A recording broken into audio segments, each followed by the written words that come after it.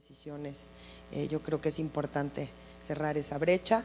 Eh, no me voy a extender más, que tiene cosas mucho más importantes que decir que yo, simplemente darles la eh, a nombre de la división, eh, porque además este es un tema muy importante que, se ha posicionado en el que hacer, creo que debemos de seguir estudiando, discutiendo y avanzando en él. Muchísimas gracias y Alejandro te dejo. Thank you very much.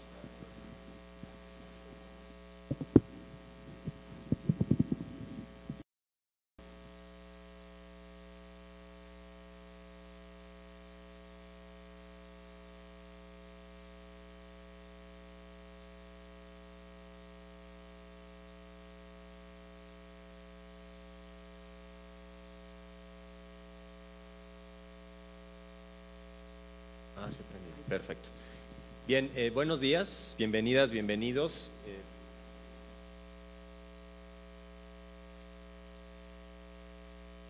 bienvenidas, bienvenidos al CIDE.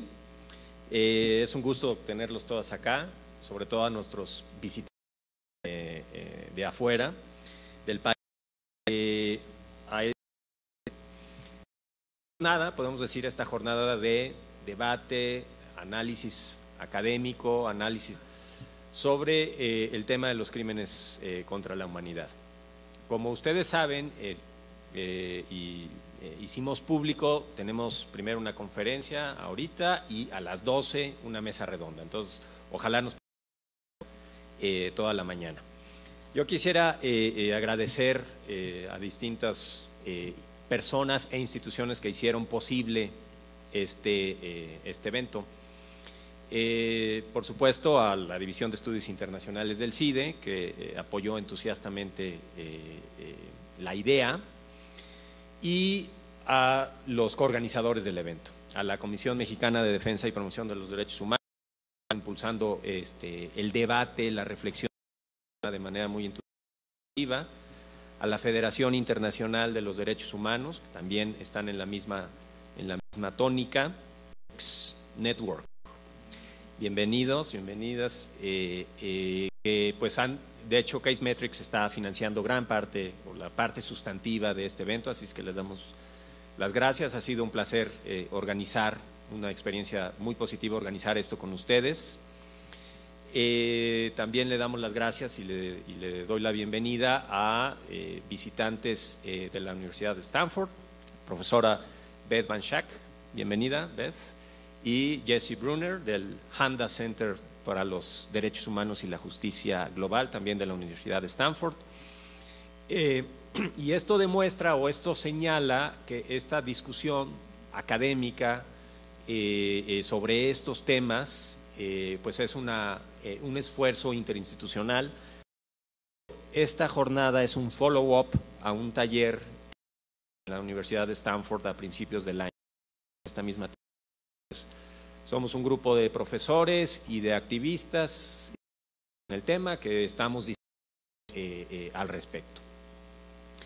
Eh, bueno, pues gracias a nuestros coorganizadores, eh, gracias a ustedes por venir. Un saludo a las personas que nos están siguiendo en el internet, en el este, streaming. Y eh, eh, comenzamos, comenzamos con la primera parte de- de- del programa, que es una conferencia eh, University en, eh, eh, en Canadá. Un segundo, este, ¿dónde tengo las.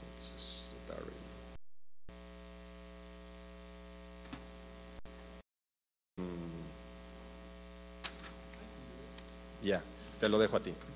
Le voy a dejar al profesor Darryl Robinson que se presente a sí mismo. Ante nosotros tenemos la fortuna de tener a uno de los más importantes expertos en la materia de definición de los elementos eh, eh, contra la humanidad en el mundo. Entonces estamos eh, eh, eh, muy complacidos con su, con su visita. Eh, nos va a dar esta conferencia central precisamente el asunto, la definición, la clarificación, ¿no? porque todos tenemos muy en México en las últimas semanas, en la prensa ha estado llena de imprecisiones ¿sí? sobre los crímenes contra la humanidad. Entonces, la, la participación, aclarar todas estas dudas, esperemos, a lo mejor acabamos con, con dudas, pero dudas, eh, digamos, eh, eh, académicas que podamos seguir discutiendo y podamos ir resolviendo. Daryl, muchas gracias por venir. Thank you so much for having, to, for being here and, uh, and uh, traveling all the way to Mexico City. Welcome, and the floor is yours.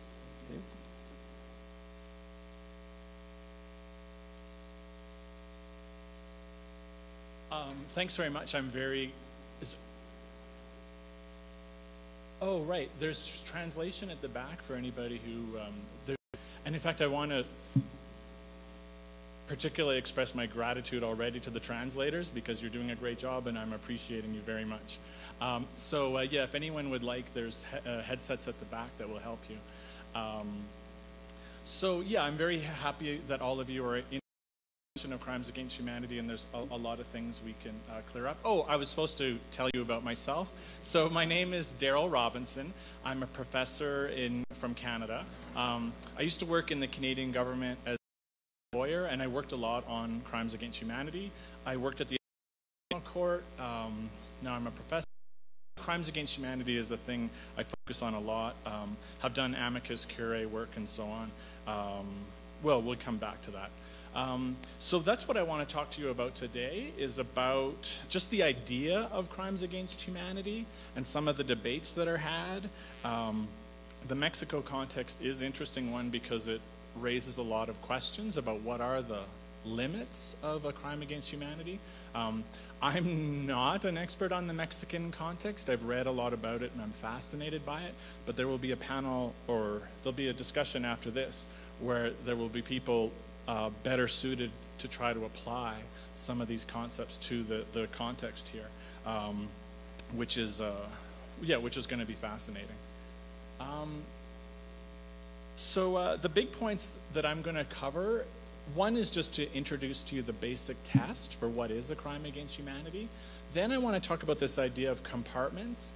There's a reality that a lot of international criminal lawyers, including myself, would have, uh, which is, oh, Mexico, that's drug-related violence, therefore not a crime against humanity. And I ask, are there really two separate compartments, or could it be both? Um, then there's a uh, question coming up about what kinds of organizations can commit crimes against humanity.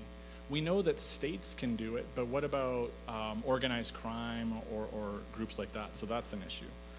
And then the fourth issue, which is a hard one, the moment the Rome Statute, the International Criminal Court Statute, it asks for a policy or organization. This is a very controversial word and a confusing word. Uh, so we have what might that mean and what does it require and how do you prove it and so on. Those are the those are the big points I want to talk about. Okay, so starting up with the basic points, um, uh, just the, the, big picture of it. Um, a crime against humanity involves kinds of acts in context. The acts can be uh, murder, torture, uh, sexual uh, um, acts like that, and they have to be committed in a particular context. The context is that it's part of a widespread or systematic attack directed at uh, any civilian population. So let's look at the pieces of it. Especially, I'm going to talk to you about this idea of a wide. What does that mean? So it has all these words in it. So first of all, is about the scale and the number of victims. So it's just the size of it. Typically, any situation that has thousands, even sorry, there's no magic number for what constitutes widespread, but thousands easily qualifies as widespread. So that's one thing to bear in mind. Then the other possibility is systematic. Systematic means um, that there's patterns in the crime, that there's a high degree of organization. Uh, is not set down perfectly, but that's the basic idea is was it thoroughly organized by somebody? And there's factors that we look at, um, repetition of similar events, um, the same kinds of perpetrators, they're all agents of the state or they're all agents of organization. They keep going after the same kinds of victims, same kind of methods. They put a lot of resources into it. Um, you could see some political objectives. None of those things requirements. They're just um, variables. My speed. Am I? Is this speed I'm talking with is good? Yeah. Okay. Um, so that's one part: widespread or systematic. Then there's this idea of uh, a civilian population. What that really not against a military target. I don't think that will be a particular issue in this context, uh, whether it's a mili- military target. The key thing about that is the word any, actually, any civilian population. That was a radical idea after World War II in Nuremberg when crimes against humanity was new was any civilian population, meaning even if a state was attacking its own people, that was a legitimate concern for the international community. So that, that's the key word there is enemy. There's some um, issues tucked inside there that we'll talk about in a moment. Um, what if the state says, well, my purpose was fighting crime? What, what do we do with that? Um, and we, if there's time at the end, I might come back to the question of um, do we need to define the population? There's some new cases saying you have to define the population. I, I, don't think it's necessary. I don't know if we'll have time to get to that in this, but maybe in, after the break we can talk about that. So, where it all starts, though, is the first thing you need is an attack directed against a civilian population. And the attack is complicated because, in the Rome Statute at least, the International Criminal Court Statute, it says there has to be a state or organizational, uh, a really controversial requirement. Not all the instruments require it. What it means is there has to be something connecting the crimes it's not enough that you just have a lot of crimes. They have to somehow be connected. That's, that's what that's trying to require, uh, get at. But the questions we can talk about include what counts as a state organization? And also, how would you prove this idea of a policy? How would you go about proving that? Um, so, I want to talk about this. Why does the Rome Statute have this requirement of state organizational policy. And it's complicated, and I think it's going to come up a lot in, in this, this case. The idea behind it is that widespread crime by itself is not enough to make a crime against humanity. If you just have widespread crime, that can happen anywhere um, if they're not united somehow. South Africa these days has thousands and thousands of murders every year. It's just a whole lot of individual murders. It's just a lot of crime. Uh, in fact, every country has thousands of crimes, so uh, they have to be linked together somehow to be. Uh, um, uh, what's interesting, though, is the Mexico situation. Um, the easy would be one the state itself is attacking lots and lots of people. Clearly, that's connected. At the other end of the spectrum, you have a whole bunch of individuals all committing their own crimes. That's just crime in between scenarios, if you have a whole lot of different entities all committing a medium amount of crimes, that's murky. So that's something we'll, we'll talk about. Um, so, um, yeah, the, the idea that everyone, the policy element is controversial, but the thing that everybody agrees on is that random acts of individuals acting on their own personal criminal plans this person commits a murder, this person commits a robbery, and they're all not connected, that's definitely not a crime against humanity. I personally, I like, I believe in the policy element. I think it's a, a good idea, but it does cause headaches. Um, I think all it is is taking that proposition that everybody agrees, a crime against humanity, random acts of individuals acting on their own initiatives. It's the same thing. If it's not just individuals, what is it? Else, organizations. Uh, so that somehow link it to states or organizations. Um, so let's see. So the structure of crimes against humanity is regrettably complicated, uh, and I feel bad about that. I have to confess, I didn't put in my bio, but um, um, which causes headaches and is really confusing. I have a hand to apologize to the world. Uh, it is complicated. In particular, in particular, what's has this you have to prove an attack an attack against a civilian population. That requires that there at least be multiple crimes. We're not going to worry about that because that's not even an issue. Then you have to show this policy meaning there's multiple crimes happening and they're somehow connected to a state or organization. That's your attack. Once you prove that you have to it's widespread or it's systematic. So it's because you have here the word policy and then you have the word systematic. And people say aren't those the same thing? Because if they are then the test is contradictory so um, i think crimes against humanity are crimes that scale plus some sort of always need a little bit of both. Some scale some collectivity. You can connect it to a state organization. A lot of scale it's widespread. You can show thousands or it's systematic, it's highly organized. So that's how it works. And again, I apologize for how complicated uh, that provision is. Um, and if you didn't fully follow what I just did there, that's okay. Uh, so now talking about these, this idea of compartments. I have to say, 2006, when someone first suggested to me that the Mexico situation could humanity, it was, uh, my initial reaction was perplexed because everyone knows that Mexico is facing it's uh, it's drug related violence. There's violence committed by or the state trying to fight that. So it's it sounds compartment in in the heads of lots of lawyers. You go, no, no, that's drug related violence. That's a different thing. Um, but are they separate compartments? Um, so the so here I put them up as completely separate things. But the other possibility is maybe they can overlap. Maybe things can be both. Um, in fact, with respect to terrorism, most lawyers agree that something can be both terrorism and a crime. Against humanity. In fact, it's often the case. Uh, terrorists are trying to terrify by committing massive crimes against civilians. That's also a crime against humanity. Um, so, in the end, I would suggest skeptical of the idea of separate compartments. Instead, I think we have to just look at the definition of crimes against humanity, think about what's the purpose, what's the point, what's the essence of a crime against humanity, and then ask, does that apply here?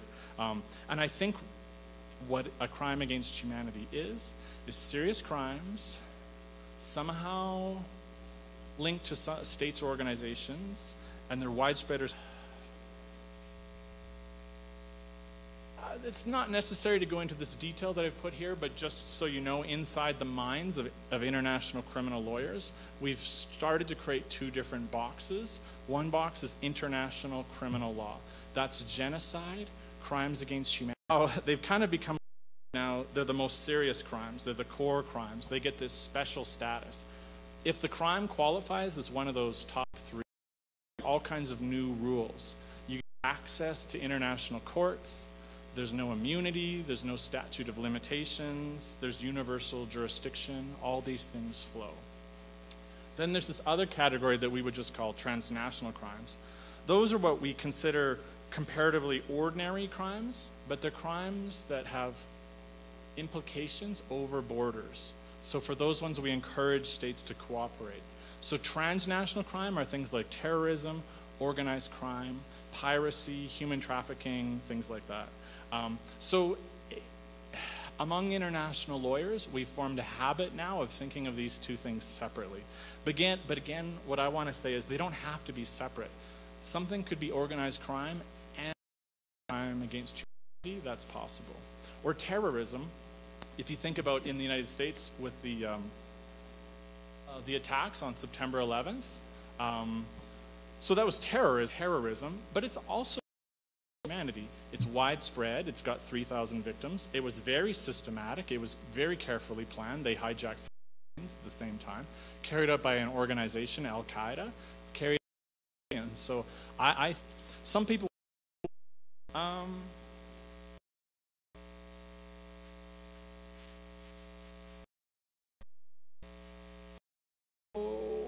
there's a couple questions I guess one would ask then is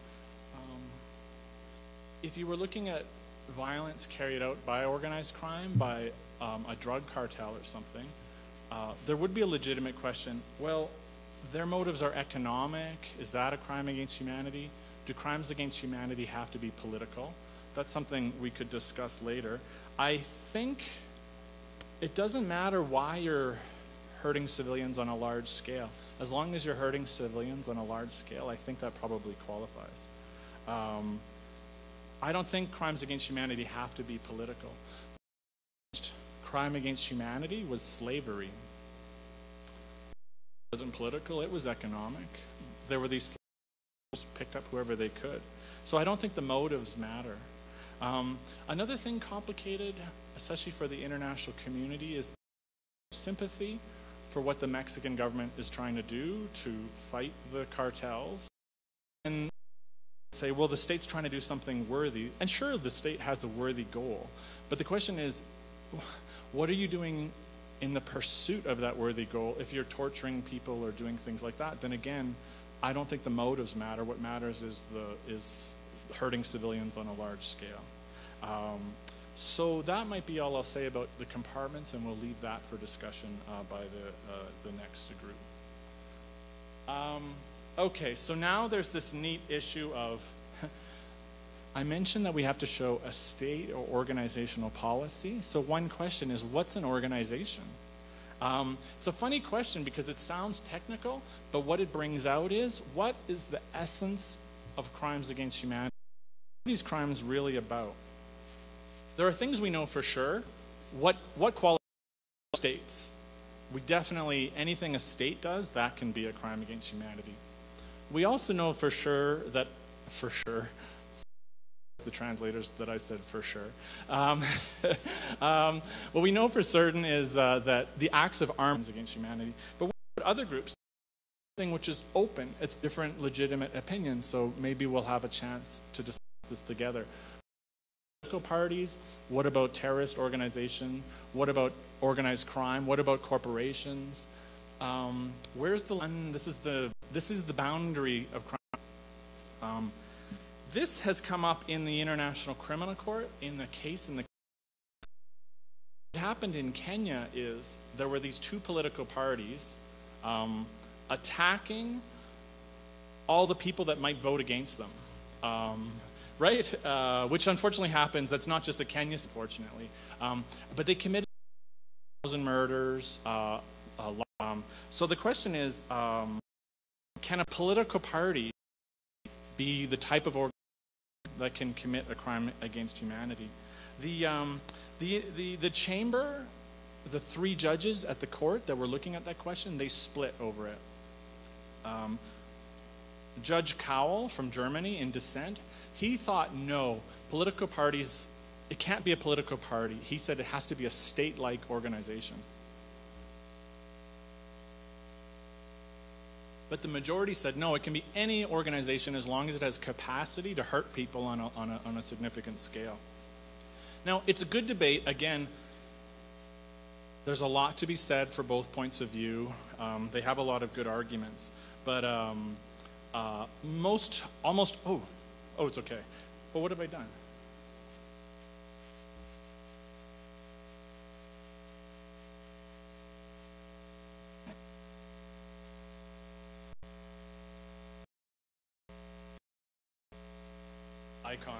Icons. Uh, good, good, good, good. Okay. So it's a good debate, but that debate is sort of, I think it might be over. At the International Criminal Court, except for Judge Cowell, with this idea of just capacity. Um, there's an argument on both sides. Um, um, so Judge Cowell, the more conservative view, it has to be like a state. It makes sense, especially if you have a human rights lawyer background. Not always looked at states and so if that's your instinct to look, then state-like makes sense. Um, and also, Judge Cowell was worried he didn't want to include biker gangs and uh, right all sorts of different. How how low do we go with organization? What count? I'm not sure if biker gangs can commit crimes against humanity either, but maybe they could. I don't know. If a biker gang killed a thousand people, I think that might be a crime against humanity. Um, there's also a lot to be said in favor. Um, I, I, again, I they were just being criminal law to just always take the bigger, broader test to show how progressive you. Are. I don't think that was the here. I think it's a principled, okay decision. What Um, Layla Sadat, this a professor from the United States, she calls this the modern concept. That the Cowell version was the traditional, and this is the modern. The modern concept recognizes that non-state actors in the world can do a lot of harm. Non-state actors are equally powerful as states, sometimes more powerful than states. So, right? So we have to acknowledge them. Um, there's other arguments in favor of this broader test that would capture any non-state actor. Uh, one historically, um, the first crime against humanity was just carried out largely by slavery. We want to capture them. Um, the ordinary meaning of the word organization is just means organization. It doesn't require state like. It's just are you organized, and they are. Um, oh, and there's another good reason is um, just the theory, the idea. There's an American academic named, named David Lubin he came up with a neat idea of what is a crime against humanity and he says a crime against humanity it's about our humanity in the sense that we are social and that we part of what humans do. But when our habit of forming organizations turns harmful, that's what a crime against humanity is. So a crime against humanity is our when our instinct to make this idea. So legitimate debate. Maybe we'll have talks about that after um, in the next segment. Uh, but in law, it's pretty settled that we're on to the capacity test. If human beings act through organizations and hurt a lot of people, then I, I think that's a, a crime against humanity. But it's something we can discuss. Like, there's perfectly legitimate views. Should terrorist organizations be covered? Should corporations be covered? Should organized crime be covered? That's up to you. Um, last is this terrible word policy. Um, so I put this little book with policy just to show here's the problem with policy. It's just the word itself. The word itself, to most people, including unfortunately some ICC judges, the word itself, uh, policy implies formal, official, uh, written.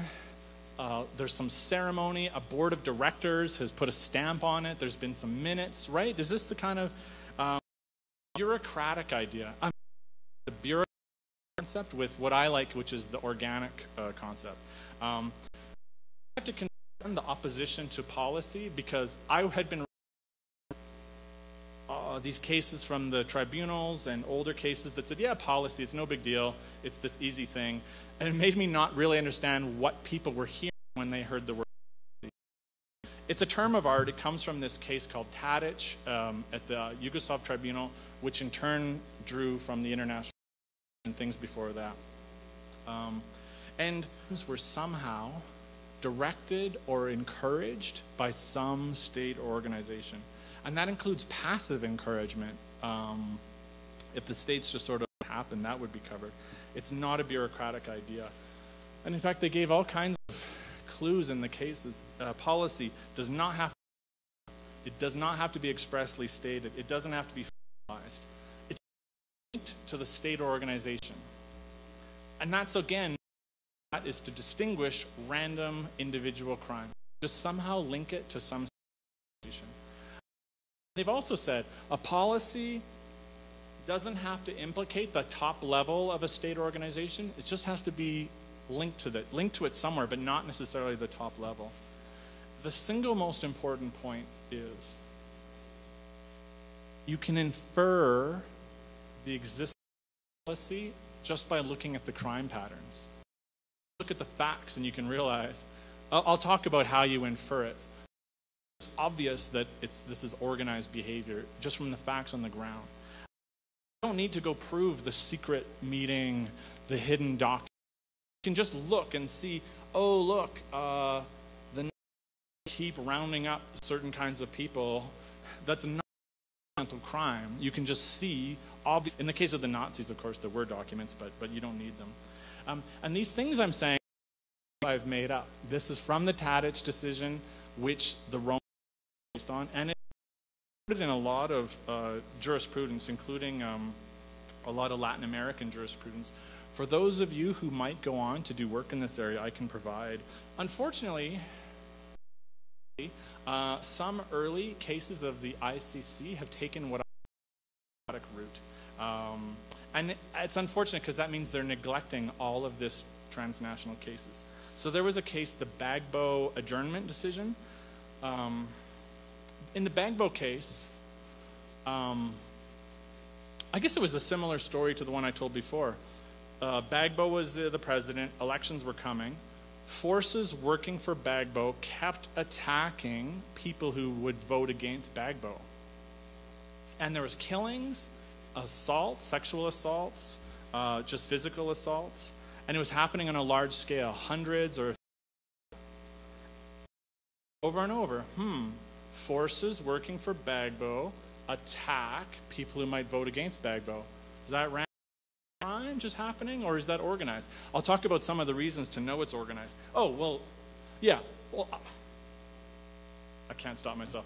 Um, so, yeah, yeah, some of the arguments. So, one is you can just look at the patterns, but then they also showed the police don't intervene when it happens, the police participate in the crimes.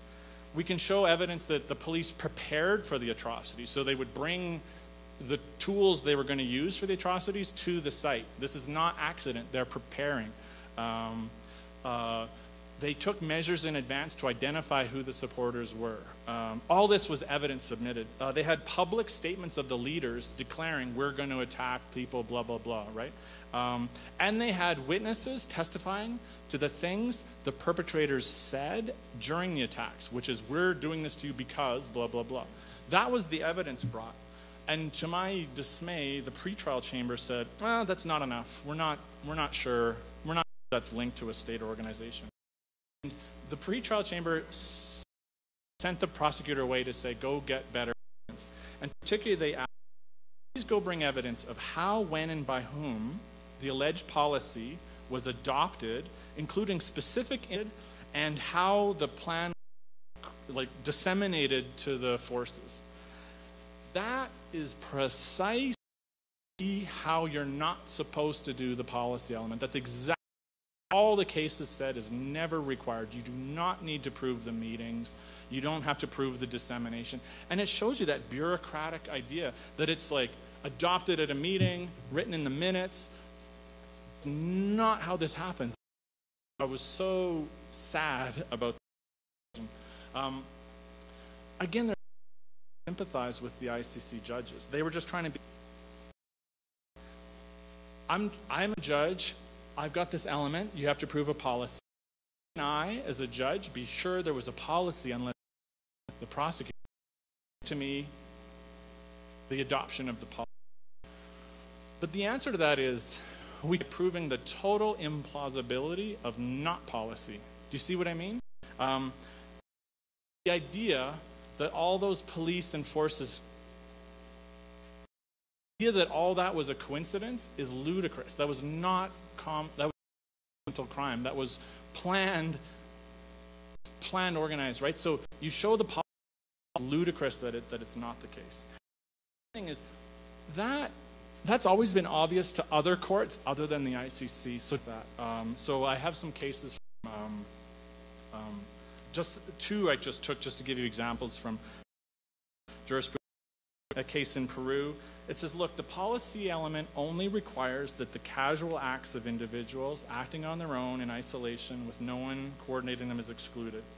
And so those common crimes, even if they're widespread, are not crimes against humanity unless you can at least show that they're tolerated in the organization. And then an Argentine case, famously, they looked at the whole system system in, in place, it was identical. The same things kept happening in place after place.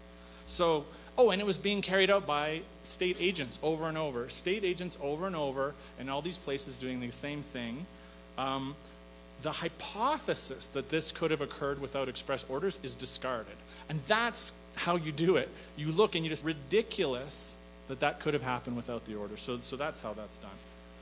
Uh, how um, later ICC cases have gone to the more mode now. Um, so in the Bagbo decision, Judge Cowell from Germany joined the majority, and they said a lot of things about this policy element. Policy simply excludes spontaneous or isolated acts. It doesn't have to be formally adopted. Um, if you have proof of planning, that's great. It's relevant, but it's not required. And we're going to look at these things like the kinds of acts and who was targeted and who was doing it and so on. Um, and then another good case is Katanga, which is the court's ever first, uh, uh, second conviction. Um, so Katanga said great things. Again, policy, not bureaucratic, does not have to be formal. It can evolve organically. One of my favorite things in the Katanga decision is that, of course, it would be really rare, as I've already said, but it would be to write down its plan to publish it, right? Like that's not. So stop. Basically, talking to the judges, saying stop looking for that because that's not what's going to happen. Of course, to infer policy after the fact, looking back at the evidence uh, and so on. So um, that's bringing me towards my uh, finish. So where do we stand right now? I guess if any of you trying to collect information on it, important just to be a bureaucratic approach and there's an organic approach. As a matter of law, I think you should argue for the organic approach. I think the organic approach is winning. But as a matter of evidence collecting, you might as well collect all the evidence you can to meet even the bureaucratic standard. Um, so um, again, I've already listed the kinds of uh, evidence you should collect, but have I put this list doesn't need to be said, it's so obvious, but repetition, is it by the same, are they using the same methods over and over? Same kinds of people over and over? Do you have evidence that they prepared? Uh, stand by? statements that the perpetrators made while they're doing it. We're doing this to you because blah blah blah. That that's evidence. And does it satisfy some kind of big organizational objective? Um, yeah, the policy element just boils down to is some state organization behind sincerely just a few you have to be careful by the way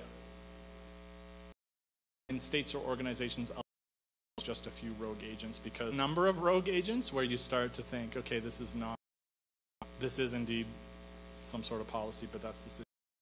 Um, so I think I have a thought about, but I might save it for discussions later because uh, I don't like long lectures. I like short lectures. Um, so I've made today, one is the basic concept, this idea of why systematic attack, and this uh, is we talked about compartments. Should there be compartments? Is drugs one thing and crime against humanity thing be both? Third, we talked about this idea of is it only state like actors carrying out traditional forms of violence like in, um, like in Nazi Germany, or is it fourth thing that I talked about was um, this idea of a policy element. What is it?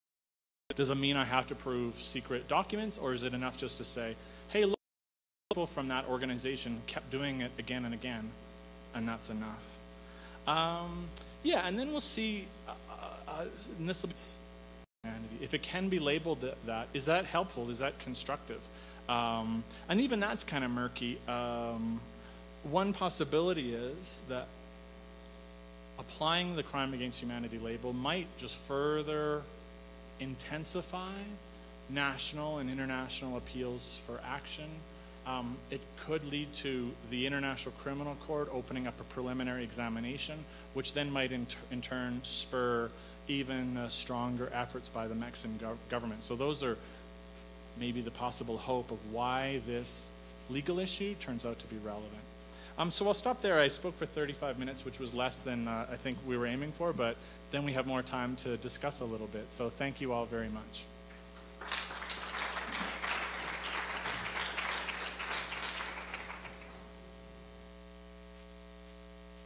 Ok, perfecto. Muchas gracias, Daryl, por esta excelente, excelente eh, charla, excelente presentación que sí pone, creo, eh, em, eh, pues los, los puntos o el dedo en, en, puntos muy interesantes y muy importantes. Tenemos un buen tiempo para, para preguntas. supongo que si quieren hacer sus preguntas en español, los traductores la traducen al inglés y Daryl está, o si se sienten cómodos en hacerla en inglés, eh, eh, adelante. Eh, tenemos un, una audiencia con muchos expertos, así que no es el tiempo. Si les parece, Daryl, we can take questions at the time. And, uh, so, tener una primera tanda de, tres preguntas. Eh, José Antonio Guevara ya eh, levantó la mano, entonces eh, vamos a, ok, el compañero acá atrás, eh, vamos a circular el micrófono para que la traducción pueda seguir este, eh, fluyendo.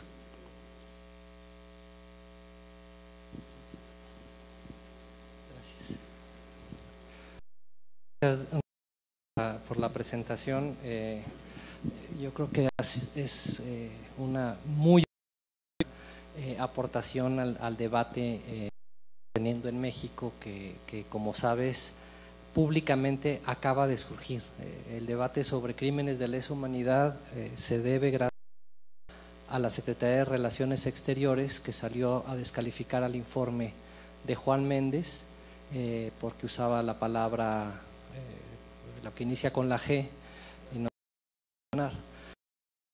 pero en el momento en que sale un subsecretario a hacer la explicación, eh, empieza a hablar inmediatamente de la inexistencia de un plano política por parte del Estado. Eh, y lo cual le agradecemos mucho porque llevábamos más de cuatro años tratando de iniciar una discusión de gravedad de los crímenes y si se podría hablar de que se configuran crímenes de lesa humanidad. Mi pregunta, eh, bueno, una, dos preguntas tendría. La primera es eh, si podrías abundar en la forma en la que, con la, la definición del estatuto y la práctica eh, de la Corte, cómo se configura la población civil, eh, porque es un, debate eh, pues interno que tenemos quienes hemos estado trabajando en esto sobre si tienes que hacer una tipología de la víctima y si la víctima debe reunir algún requisito que la una o puede ser el la petador conceptualiza a la, a la víctima y eso es si podrías abundar en la cómo configurar a la población y si civil es relevante en todo esto, ¿no? Porque y la, segunda es si podrías abundar también en los diferentes estándares de prueba que se requieren al hablar de estos elementos de los crímenes de lesa humanidad en los diferentes momentos, entre comillas, procesales ante la Corte. Examen preliminar, solicitud de inicio de investigación por parte del fiscal, acusación eh, por parte del fiscal y ya para llegar los otros elementos de, responsabilidad y, y eh, de, de crímenes de lesa humanidad. Gracias.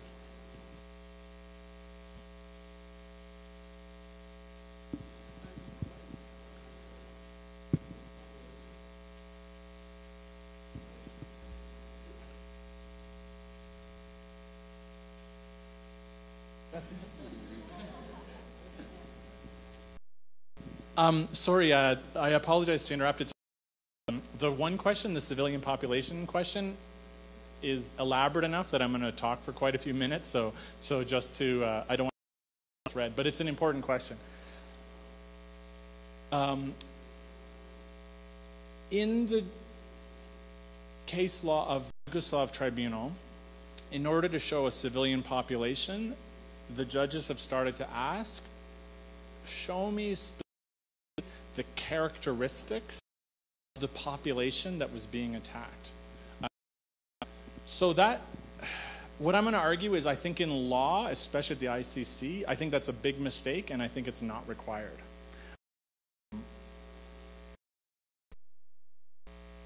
It makes sense that the Yugoslav tribunal requires the Yugoslav tribunal has rejected this idea of a state or organizational policy, so they don't require that. So all they have for a test is widespread or systematic.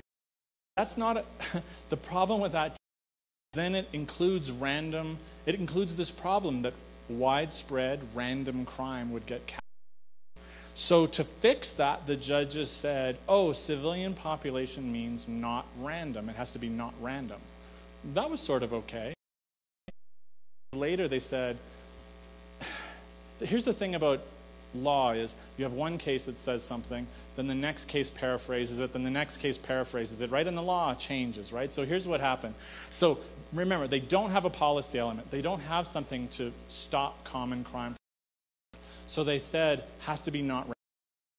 Then a later case paraphrases that as the victims cannot be randomly selected, which seemed harmless enough. Then a later judge says, well, if they're not randomly selected, they have to be identifiable. And then a later judge says, have to be identifiable, dear prosecutor, specifically how they were identified. So then the prosecutor has to show, oh, they were targeted because of their uh, or something like that. That's all maybe okay in the Yugoslav tribunal because it doesn't have a policy element. They need something the law from being stupidly broad. But at the ICC, we already have a requirement that a state or organization is directing it. So we don't need this additional requirement of show me that show me this population was um, covered. So uh, three thoughts on this. One, it's not it doesn't because the ICC already max by looking for a state organization. Two, I think it's actually a bad idea. Um, if a state or organization kills people at random on a large scale, that's a crime against humanity. Um, if a state created a murder lottery, um, that's a crime against humanity and it should be covered. Now, murder lottery is an implausible story, but it, it's not always. Again, the first crime against humanity was slavery. Slavery rings captured, we're not selected. Slavery rings just grabbed who they could. Uh, but it was a crime against humanity, so a crime against humanity can have randomly selected victims. Terrorist organizations often have randomly selected victims. So that's reason number two why I don't, I don't like the way the Yugoslav Tribunal does it. Reason number three is uh, it, it causes a problem. Once you start playing their game, you, you think you have to identify um, the population to be they were targeting people because of they were members of this or that group. Then you start getting into something called special intent, knowing the purpose of the targeting. Um, you get arguments from the state saying, ah, I wasn't killing them because they were members of the fur tribe. I was just killing. Um, and then weirdly enough, in Genesis, like, so the state will say, I was just killing them because I thought they might support the rebels. And the weird thing is, in genocide, that can actually get you off the charge. But crime against humanity shouldn't care why you are killing people, it just cares that, that you are, in fact, killing people. Um, so I think it's a, another mistake that it gets into this business of special intent. I, have seen cases where it got really weird. Um, there's this one case called Bowoto, Bowota versus Chevron. It's actually a civil case from the United States. They were killing oil protesters. And the judge actually said it's not a crime against humanity because they weren't killing them, they are civilians, killing them because they're oil protesters. And uh, right, and you laugh, and you're right to laugh because that's ridiculous. No one kills people because they're civilians. That's not the, the point of crimes against humanity isn't to stop people from killing people because they are civilians. It stops people from killing, deliberately killing civilians, right? So, of course, there's always a purpose, there's always a reason shouldn't, shouldn't care about the reason. So there's the three reasons why I think that the route that the Yugoslav Tribunal took is not a good route for the ICC. However, that's my legal view. The fact is, that view is crossing over and infecting the ICC. So that again means for you, if you're trying to make arguments, I think you have to again take two prongs. One, argue in law, my view, which is I don't have to show you how the population is identified, make that legal argument. But then, as evidence, you probably have to try to collect the evidence and try to come up with some story about the population is being targeted, which I think in the Mexican context is really tricky, trying to, trying to articulate. What's the, the grounds, that's the thing. Okay, all my future answers to questions will be a lot shorter than that one. Um, I don't like it in uh, academics or blah, blah, blah, blah, blah, blah, but that, that particular question called for a little speech. Um, so now I'm going to go back to short answers. Now, there was a second question. Oh, yeah, types of evidence. In the preliminary examination stage, it's supposed to be it's supposed to be not even you don't even have to bring evidence you're supposed to just bring information and I think is reasonable basis to believe, right? So um, you ought to be able to just write a letter. However, the practice of the prosecutor's office is changing because they have so many situations on their plate, and the expectations they have on NGOs are rising. The answer is you should not have to be collecting evidence. You should not have to be collecting that specific of information. The better your. And now I apologize to whoever it was that I. Uh, I just I knew that was going to be such a little speech. Sí, mi pregunta va enfocada al concepto de organización. He establecido la, las dos concepciones, ¿no? La tradicional y la mi duda es cómo conciliar esta interpretación moderna y un tanto progresiva con principios como el de legalidad o la interpretación estricta de, que, está en el estatuto.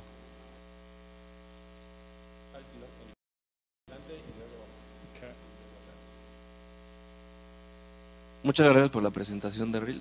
Eh, un par de preguntas. Eh, primero, con relación a lo que a, a lo que definías como en relación al concepto del sistema. Eh, yo tenía entendido que se vinculaba mucho con esta cuestión del patrón, en, la caracterización de, del 9-11 como crimen de lesa humanidad. ¿no? Entonces, bueno, si sistemático, ¿qué tanto se vincula con patrón? Si puede un solo acto cometido en un solo día ser un ataque sistemático. Y la otra pregunta tiene que ver con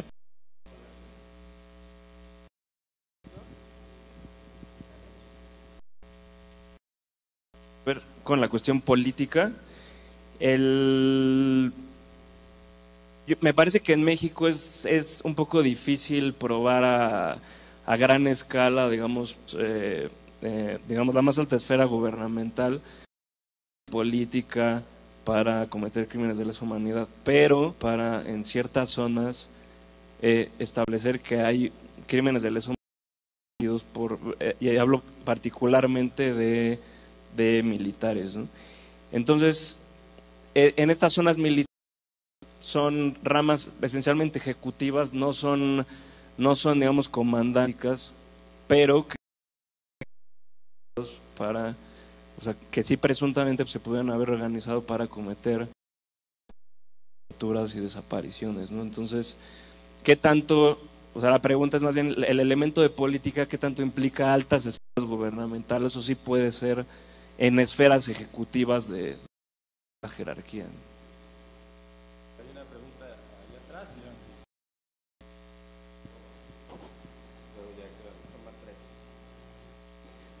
Professor Robinson, um, throughout your remarks about seeing patterns, used a lot of statistics and like actual sort of data analysis, speaking about hypotheses and that this couldn't happen by chance, these sort of patterns systematic nature. So I'm wondering where, if at all, you for you know econometric or political science um, analysis in creating these missions or question was uh, how do this the traditional and the modern views how do they fit the framework of the Rome Statute that we have and um, the Rome Statute state or organizational policy so this whole debate of traditional versus modern all revolves around how you interpret this one word organization. Uh, so that's that's that's where it fits in. It all this is the thing about text, right? It just says organization, uh, and then the question is, what do we into that idea of organization? Should, it have to be a state-like organization, or can it be any organization capable of harming? So that's where it fits in. It's funny how in any legal text, every word is open to ideas and it creates a different law. Uh, so that's where that fits in. Um, yeah, great question about the, the systematic and patterns and is systematic when it was in, in a way one event. That's an excellent point um, because one of the indicators of systematic is repetition, right? Crimes against humanity are a lot of small, a lot, right? Uh, a, a lot of events happening day after group is hurting people. But there is jurisprudence says that you can have one event of extraordinary magnitude, and that can qualify as widespread. And I think similarly, it can be systematic. I think repetition over time is just one element. It was really organized. Um, and I think that the, um, there's enough evidence that the September 11th events were really organized. They had to hijack four planes at the same time, right? That's, and they train the pilots and so on. So there's a lot of preparation. So that's where I would see systematic. Um, great question about the policy element. Yeah, really difficult to prove in a situation like this. Particularly difficult is where the a government will surely have an external official policy, no torture, right? For sure, that's that's probably written in all kinds of documents, right? The official, externally presented policy is going to be no torture. And then when it happens, the state will say rogue agent, bad apple is this expression. I don't know if does that translate very well. Bad, a few bad apples is what we would say in in uh, in North America. And in fact, that's what um, the Bush administration said about torturing Guantanamo Bay, right? So for sure, that's a maybe let's move it. Let's talk about that one instead, right? So this is going to happen all, all, all over and over. Is the state is going to have an official policy, which President Bush said torture, right? So that's what they're saying to the world. That's the official policy. But then we look at the behavior of the state and think, hmm, you keep torturing people over and over and over, and then there might when we cease to believe the official policy and where we, we have to believe the repeated behavior. But I agree, it's murky. I also have for you cases um, from different international tribunals like uh, the Special Court for Sierra Leone, where they were confronted with this situation, where there's the official external policy of we never, no war crimes, and then you see the troops committing war crimes.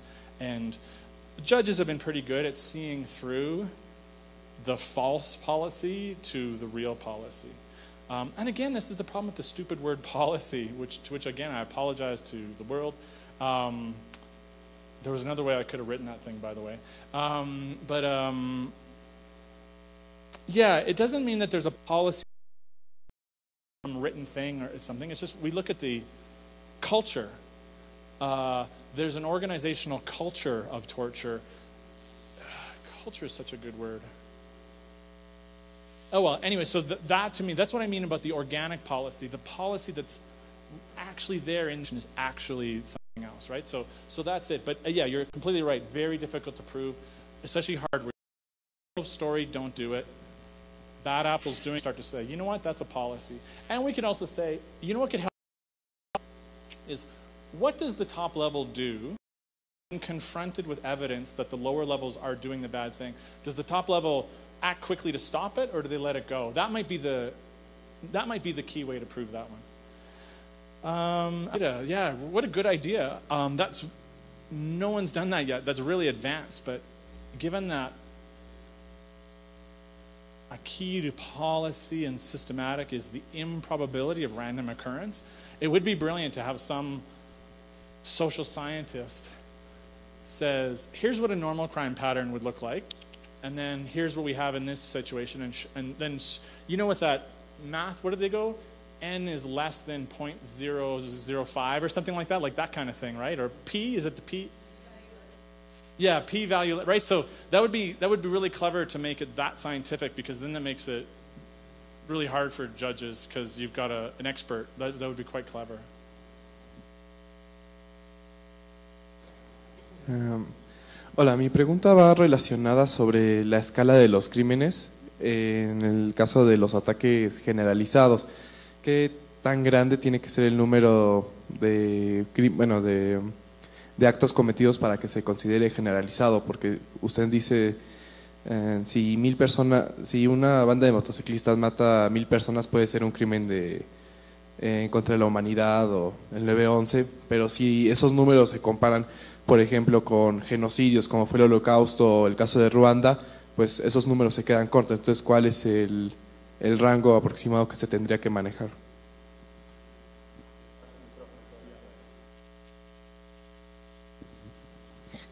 Gracias. Eh, bueno, eh, yo tengo una, una, duda con respecto a, a, esta noción de los compartimentos. Por, de un tiempo para acá he estado me ha interesado el tema de, de, la política criminal y perdón por utilizar otra vez la palabra política, ¿no? Eh, me parece que si lo vemos desde un punto de vista eh, normativo, efectivamente los compartimentos pueden entrelazarse eh, y, y, bueno, como decía, un acto de terrorismo puede ser un crimen de lesa humanidad. Pero la pregunta que me surge, eh, haciendo alusión a la política criminal, es si esto de una u otra manera no trastoca la política criminal, es decir, el, los mecanismos que se han empleado para cada una de Parece muy claro que un acto de eh, terrorismo, narcotráfico, efectivamente la respuesta de la comunidad internacional ha sido una y eh, genocidio, crímenes de lesa humanidad, etcétera, ha sido otra. Entonces, eh, me parece que eh, desde un punto de vista normativo me queda muy claro, pero de un criminal internacional, por llamarle de algún habría ahí al, algún problema. Eh, y, y, bueno, que su opinión, porque a lo mejor es algo que simple y sencillamente no importa, pero bueno, quisiera escuchar qué tiene que decir al respecto.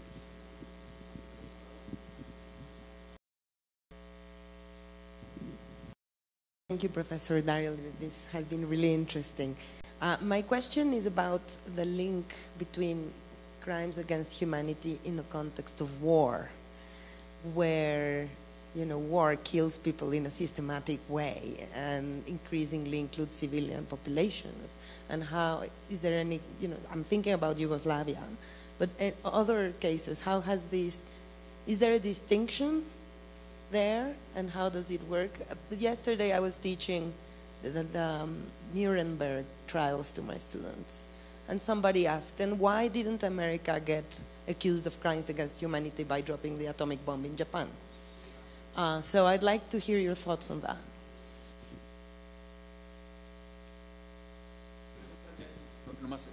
Uh, complementing this, what about the drones used actively to uh, to kill uh, specific targets?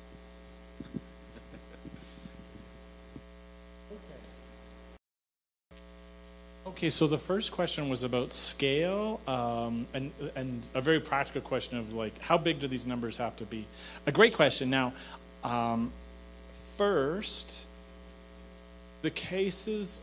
First of all, they always insist there is no magic number, and the case to push us away from numbers. But then the escape numbers because we're talking about scale and right. So so there's a there's a first thing is there's a little game we play of insist they don't want numbers and in fact there's a sense that that would be group it would be distasteful if we had a magic number. You make the number a thousand then will some group 190 uh, right? So there, there's that kind of concern.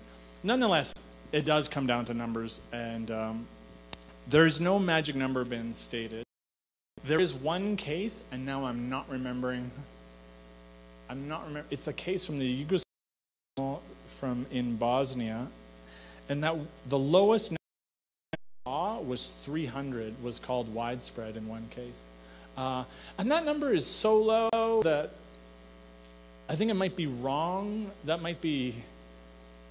I mean, although I don't know, 300 crimes is a lot of crimes, so maybe 300 is okay. Just my that seems like an but the general rule is not official in any way. You can't cite like this, but just from uh, professional experience is anything like anything anything over a thousand. No one disputes that it's widespread. When it's under a thousand, start arguing. So maybe a thousand is a number, but I want to emphasize again, I'm not.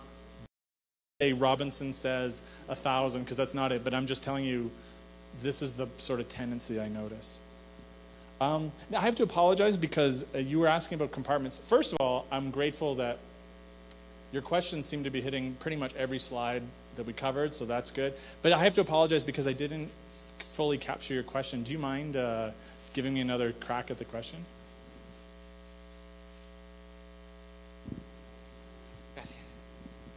Sí, lo, lo, que sucede es que eh, efectivamente un acto como el 11 de septiembre eh, puede ser catalogado desde un punto de vista estrictamente jurídico como terrorismo o como crimen de lesa humanidad. El problema que yo vería con, con eh, los compartimentos es que una de las otras diapositivas se señala La comunidad internacional ha dividido de manera muy clara entre delitos transnacionales y crímenes y le ha, es, eh, le ha asignado consecuencias o foros distintos según como lo clasifiquemos. Entonces, desde un punto de vista eh, normativo me parece que no hay ningún problema, pero desde un punto de vista de política criminal, en cómo se va a atender cada acciones, puede, eh, puede generar eh, algún problema. Y bueno, para ampliar la pregunta, aprovechando que tengo el, micrófono, eh, me viene a la mente el caso del, del juez Garzón, ¿no? que decía que todo era genocidio, porque si no decía que todo era genocidio no podía ejercer jurisdicción universal. Entonces inventaba unas definiciones muy para poder tener competencia y ese tipo de eh, cuestiones son las que me preocuparía desde un punto de vista de política criminal. ¿Sí se entendió ahora? Um, good. Yes. So the compartments. Yes. Um, and that is the big difference of the compartments. Is the different compartments lead to different solutions, right? Uh, if we call an event a crime against humanity, typically we start thinking about prosecutions, either national or international, and it activates that regime. If we say terrorism or organized crime, we start thinking about interstate cooperation, right? So there's the, the difference. Um, so, yeah, I quite agree with you that we've assigned, over time, we've come to assign different forums. I still think event, it is possible for a crimes to still be considered both, and it means you have a choice of remedy. You have a choice of which. Um, uh, and that's why I remember the United States didn't want terrorist acts to ever be considered crimes against humanity because crimes against humanity involve like sharing jurisdiction with keep it for itself. The US said, we're better. It's just a question of what tool is the most effective for this problem. So, and that's a legitimate question to talk about later is, is characterizing the events in Mexico as a crime against humanity, is that even, is it strategically useful or not? So there's a legal question, but there's also a strategic question. Does it, hello? Does it activate the kinds of tools we want? So that's a legitimate question. But to me, there's no problem per se that something could go into either avenue. Um, yes, Judge, there is a tendency in international law to keep expanding the concepts of all of our crimes to try to activate them in with genocide. Uh, and that's something to guard against. And it's something I'm very aware of when I'm, I'm advocating for a concept against humanity that in the eyes of some people is all. Uh, I don't think I am being expansive. I think I'm just trying to stick to what the cases have been 40, 50 years, and everyone else has forgotten. I'm trying to remind them. Um, but um, um, but the genocide concept is out of the question here, isn't it? In this context, yeah, yeah, yeah. Okay. Um, anyways, we'll talk about more of those things after the, the break. Um, now, I missed the beginning of your question about war, bomb. Um, so,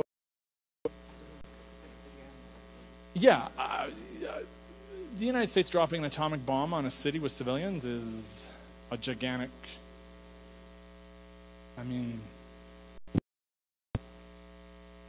you're allowed to attack military targets, and I'm sure the city had some military value, but the civilian loss incurred was enormous. The U.S. justification is, oh, it had all these good effects, but I don't know if anyone believes that justification anymore. So the U.S. didn't get prosecuted because they were running the trials, I think, right? That's, uh, that's what that was about. This is a recurring problem in international criminal law on things done by countries in the South and not things done by countries in the North, and that's like I don't know. uh, Maybe I'm naive and optimistic in that, you know, I, I still have belief in international criminal law that it's going to get on its feet and get stronger and stronger, but it has to be even handed for sure. Um, oh, ditto drones. I, am not an expert on drones. I don't have anything cleverly brilliant to say about drone strikes. Um, um, I think that with drones, the drone is just the tool. For some reason, we have a lot of talk about drones. The drone is just the tool. The, we just have to apply the rules we have, legal or illegal. And if it was illegal, then it's illegal. And if it's legal, it's legal. And it doesn't, to me, it doesn't matter what tool they use. But there's a whole debate about drones. But I, I confess, I'm, I just, it's too elaborate for me. Is that, I don't know if I've, Yeah. Yeah. If drones keep hitting civilians and to an extent that's clearly excessive, then that would become um, that would become an international crime if they keep. I mean, there's one thing to sit, be said in drones. Maybe I'm going to get in trouble, but uh, drone is supposed to be that they they can be more precise because they go in and the drone's not scared for its own life, and it can be more. Soldiers are scared. Soldiers are terrified, and they over. My hope was that maybe drones don't overreact, but if the evidence is that if they cause excessive civilian casualty, then that becomes illegal. Um, but beyond that, I'm afraid I don't have any good uh, things.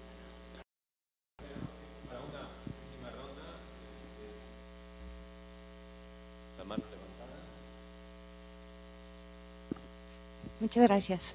Em, una pregunta. Es de, em, de la correlación o la- el análisis conjunto, sobre todo por lo que explicaba de la definición de población. Mm, Porque está, es- o sea, la jurisprudencia de los tribunales penales internacionales trataron de retomarlo desde el derecho internacional humanitario, pero claro, eso generó problemas em, con, con la escisión, digamos, o la separación de los crímenes de lesa humanidad, del- de la desvinculación con, con el conflicto armado. Em, y está la, em, la, la, la- interpretación, los criterios del Tribunal de Yugoslavia, en donde no han cambiado, no todas las víctimas tienen que ser, o sea, las víctimas individuales no tienen que ser. pobl- No sé si eso es todavía igual en, en los últimos criterios de la Corte. Pero entonces, si todo eso es así, ¿cómo se relaciona o cómo se puede argumentar con, em, como en un posible cargos eh, complementarios, un ataque en contra de la población civil, pero al mismo tiempo excluyendo a algunos de los de, las víctimas que se podrían considerar combatientes dentro de algún contexto de conflicto. Eso por un lado. Y nada más rápido, la otra pregunta es si tiene su opinión sobre el debate entre los jueces en, en la apertura de investigación de Kenia, de la situación de Kenia. Muchas gracias.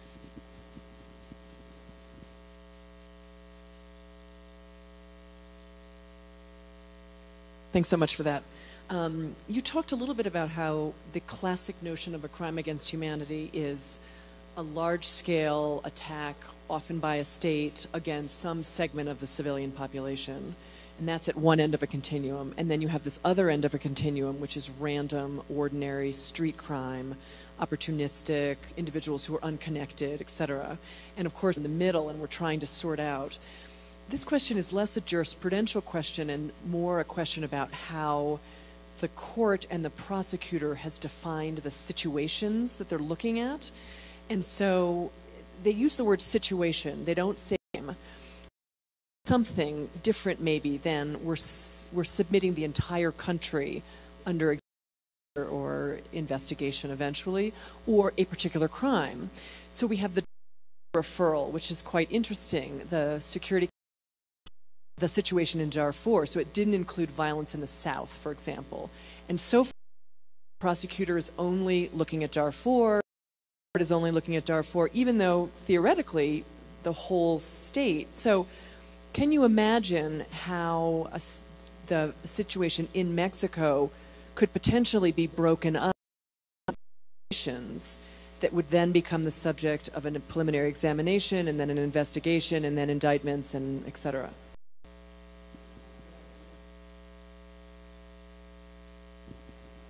Okay, I have a couple of questions myself. sí. Em, una, eh, supongo que desde la perspectiva de México, el punto clave es la diferencia entre eh, los casos típicos, tradicionales, fáciles, situaciones eh, que están fuera de esa área fácil para un fiscal y para un tribunal. ¿no? Y la discusión académica sobre eh, hasta dónde los boundaries. Es muy interesante para todos nosotros y me parece que por, por siguiendo tu charla, yo no soy jurista, pero siguiendo tu charla, la decisión, a final de cuentas, es primero de un fiscal. Eh, creo que podemos extender la frontera y después, ¿no? Que, que, eh, eh, entonces necesitas fiscales y jueces, pues no sé si atrevidos o, progresistas o qué, ¿no? Entonces mi pregunta es si tú ves actualmente ese contexto para que pudiera expandirse la, la frontera. Y otra pregunta, reflexión, John pregunta, tiene que ver con eh, eh, la consecución o el evidencia. Que fáciles, pues quizá ya es un gobierno nuevo, hay una etapa de transición, el gobierno nuevo facilita la recolección de evidencia, etcétera, etcétera. Pero en un contexto donde hay continuidad institucional, más o menos democrática, eh, ese asunto de la recolección de evidencia se vuelve mucho más complicado, ¿no? más difícil. Entonces mi pregunta es si hay ejemplos eh, eh, de casos en este tipo de contextos donde no hubo una ruptura, donde no hubo un proceso, no hay un proceso de justicia de transición, no hay un nuevo régimen, etcétera, etcétera.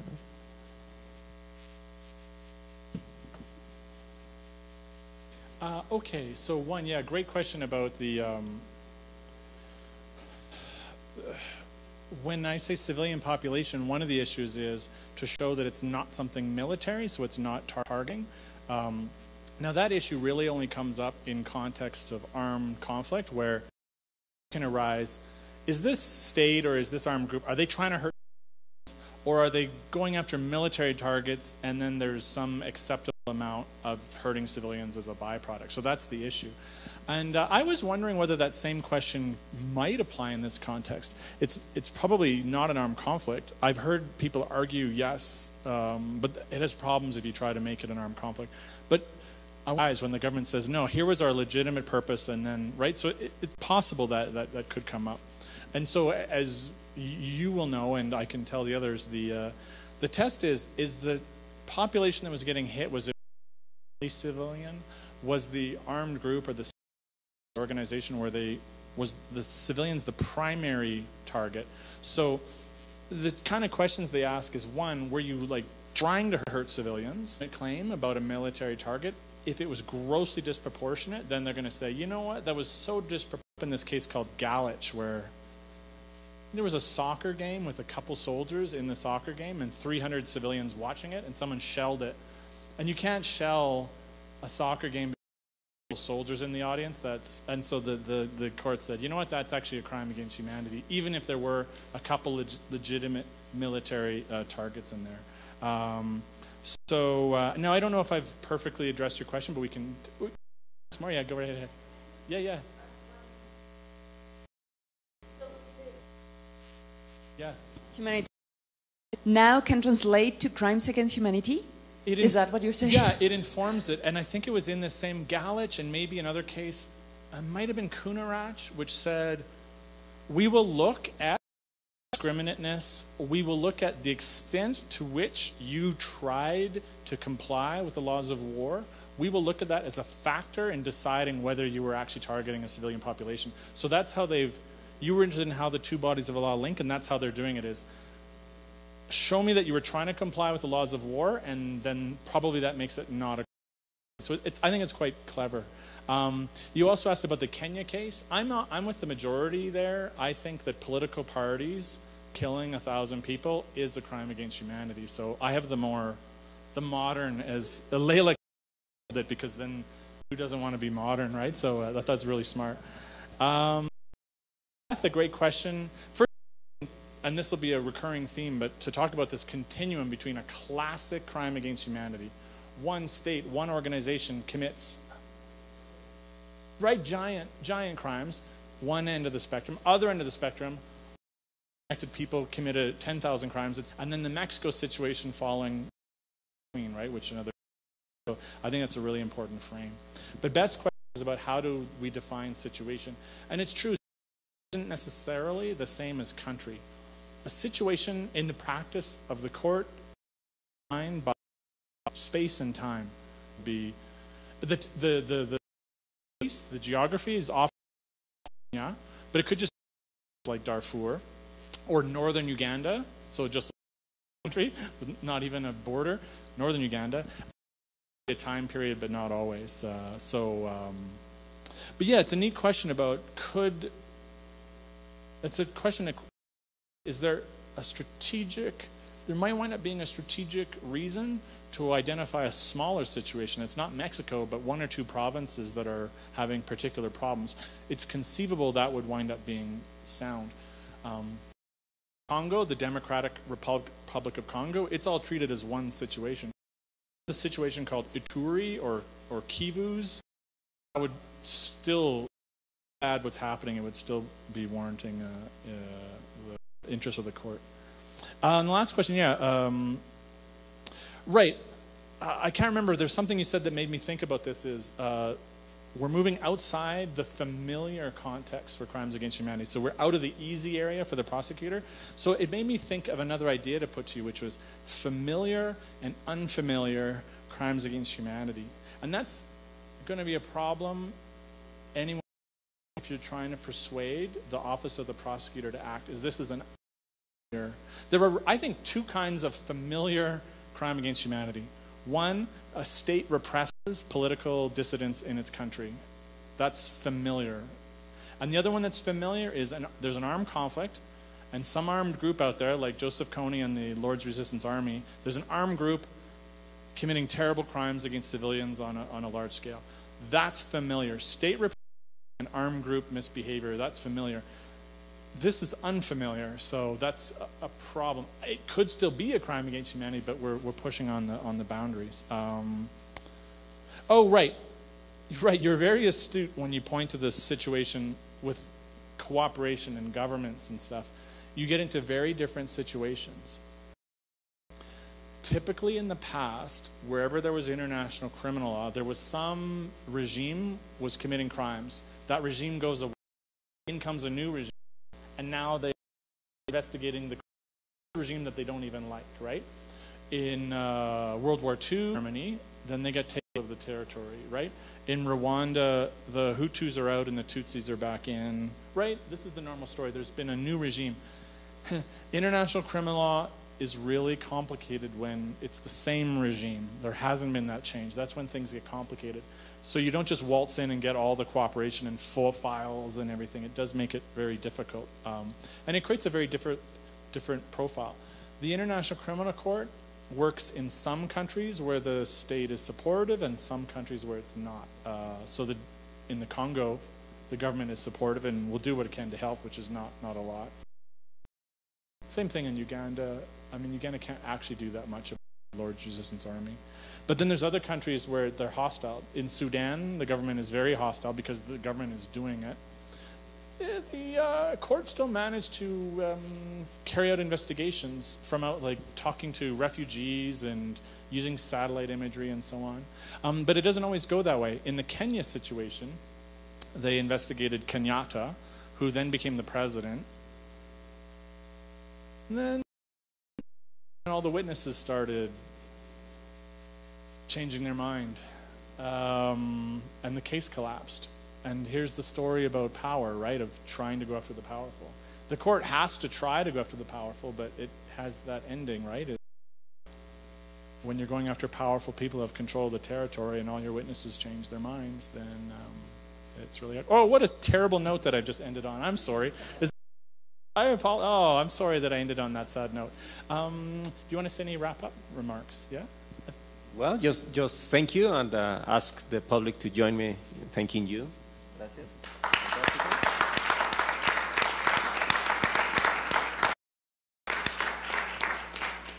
Muchas gracias, Daryl. Eh, tenemos un break, 15 minutos, café, agua, galletas, baño, etcétera. Nos vemos aquí a las 12.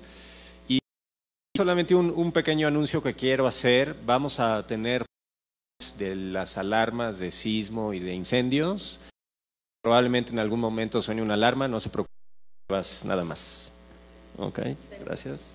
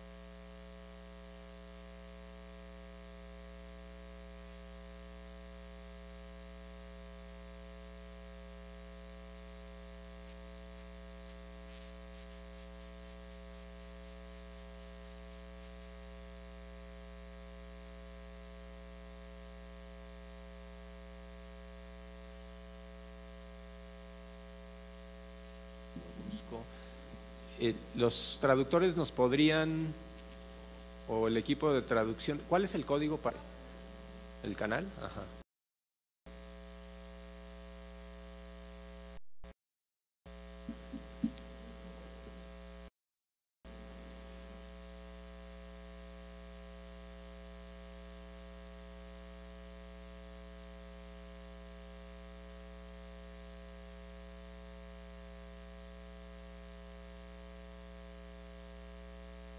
¿Perdón? Sie- 729. 729. Bueno, aquí están.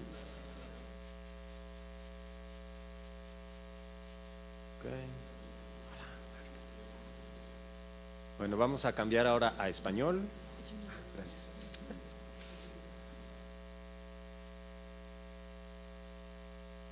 Listo, vamos a cambiar ahora a español. Eh, pues buenas tardes.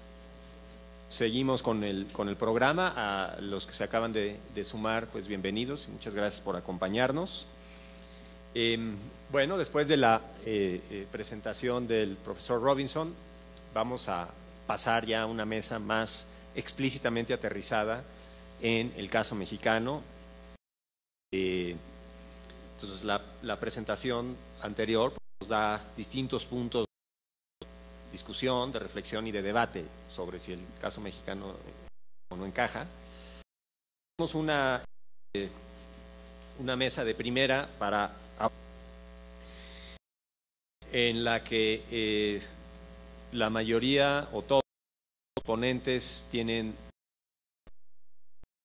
beta del algunos casos eh, más eh, eh, digamos enfatizada una faceta que la otra una mesa de expertos expertas en el tema Eh, no voy a, a detenerme demasiado en los, este, eh, los, los currículums.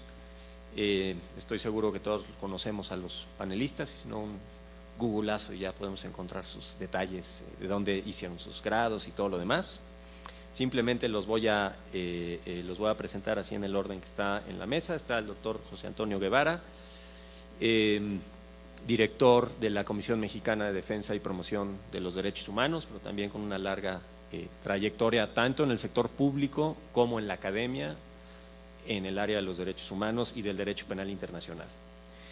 Eh, profesora investigadora del CIDE, eh, División de Estudios, perdón, profesora asociada, perdón, de la División de Estudios Jurídicos del CIDE, también con una muy larga trayectoria en el estudio del de, eh, derecho penal internacional, el derecho internacional humanitario y todos esos temas relacionados. Entonces, eh, eh, gracias Jimena. Tiene al rato una reunión muy importante de su división, entonces si se tiene que salir corriendo este, es porque la están esperando sus jefes.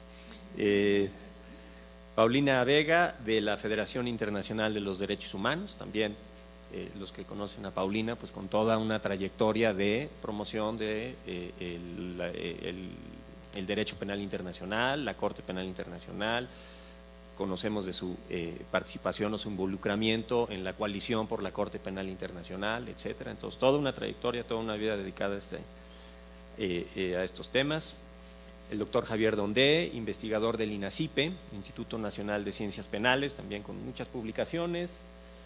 Ya estábamos platicando, 10 años en el INACIPE este, y desde antes pues trabajando y estudiando estos temas del, derecho penal internacional. Eh, y Emily Hunter, que también tiene una trayectoria, eh, eh, digamos, perfectamente ajustada a este tema tanto en academia como en organismos internacionales y en ONGs internacionales. Casi, y, en la academia, actualmente directora adjunta del CANTE de este, de este evento.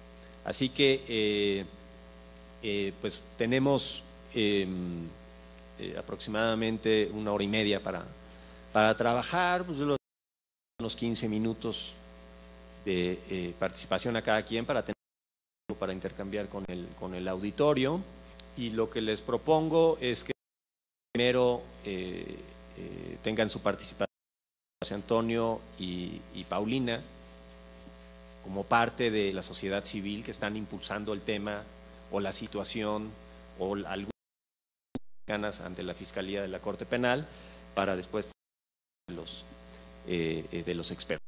Entonces, si les parece, empezamos con José Antonio.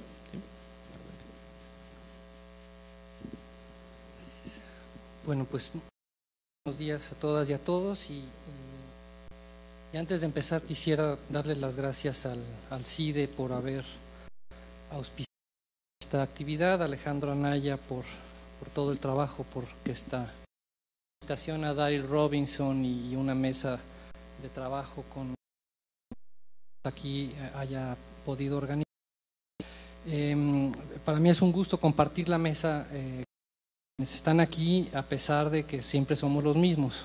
Triste eh, cuando organizamos Javier que otra vez los mismos. Me digo, pues, pues, tú dime a quién más invitamos y la verdad es que hizo un esfuerzo este, muy importante personas que hay hace tantos años en estos temas y eh, sin duda hay más personas, pero, eh, pero no pudimos identificarlas para invitarlas. Yo le dije, está abierta la puerta, les pediría a mis contrapartes que modifiquemos la mesa, yo me bajo para que alguien más hable.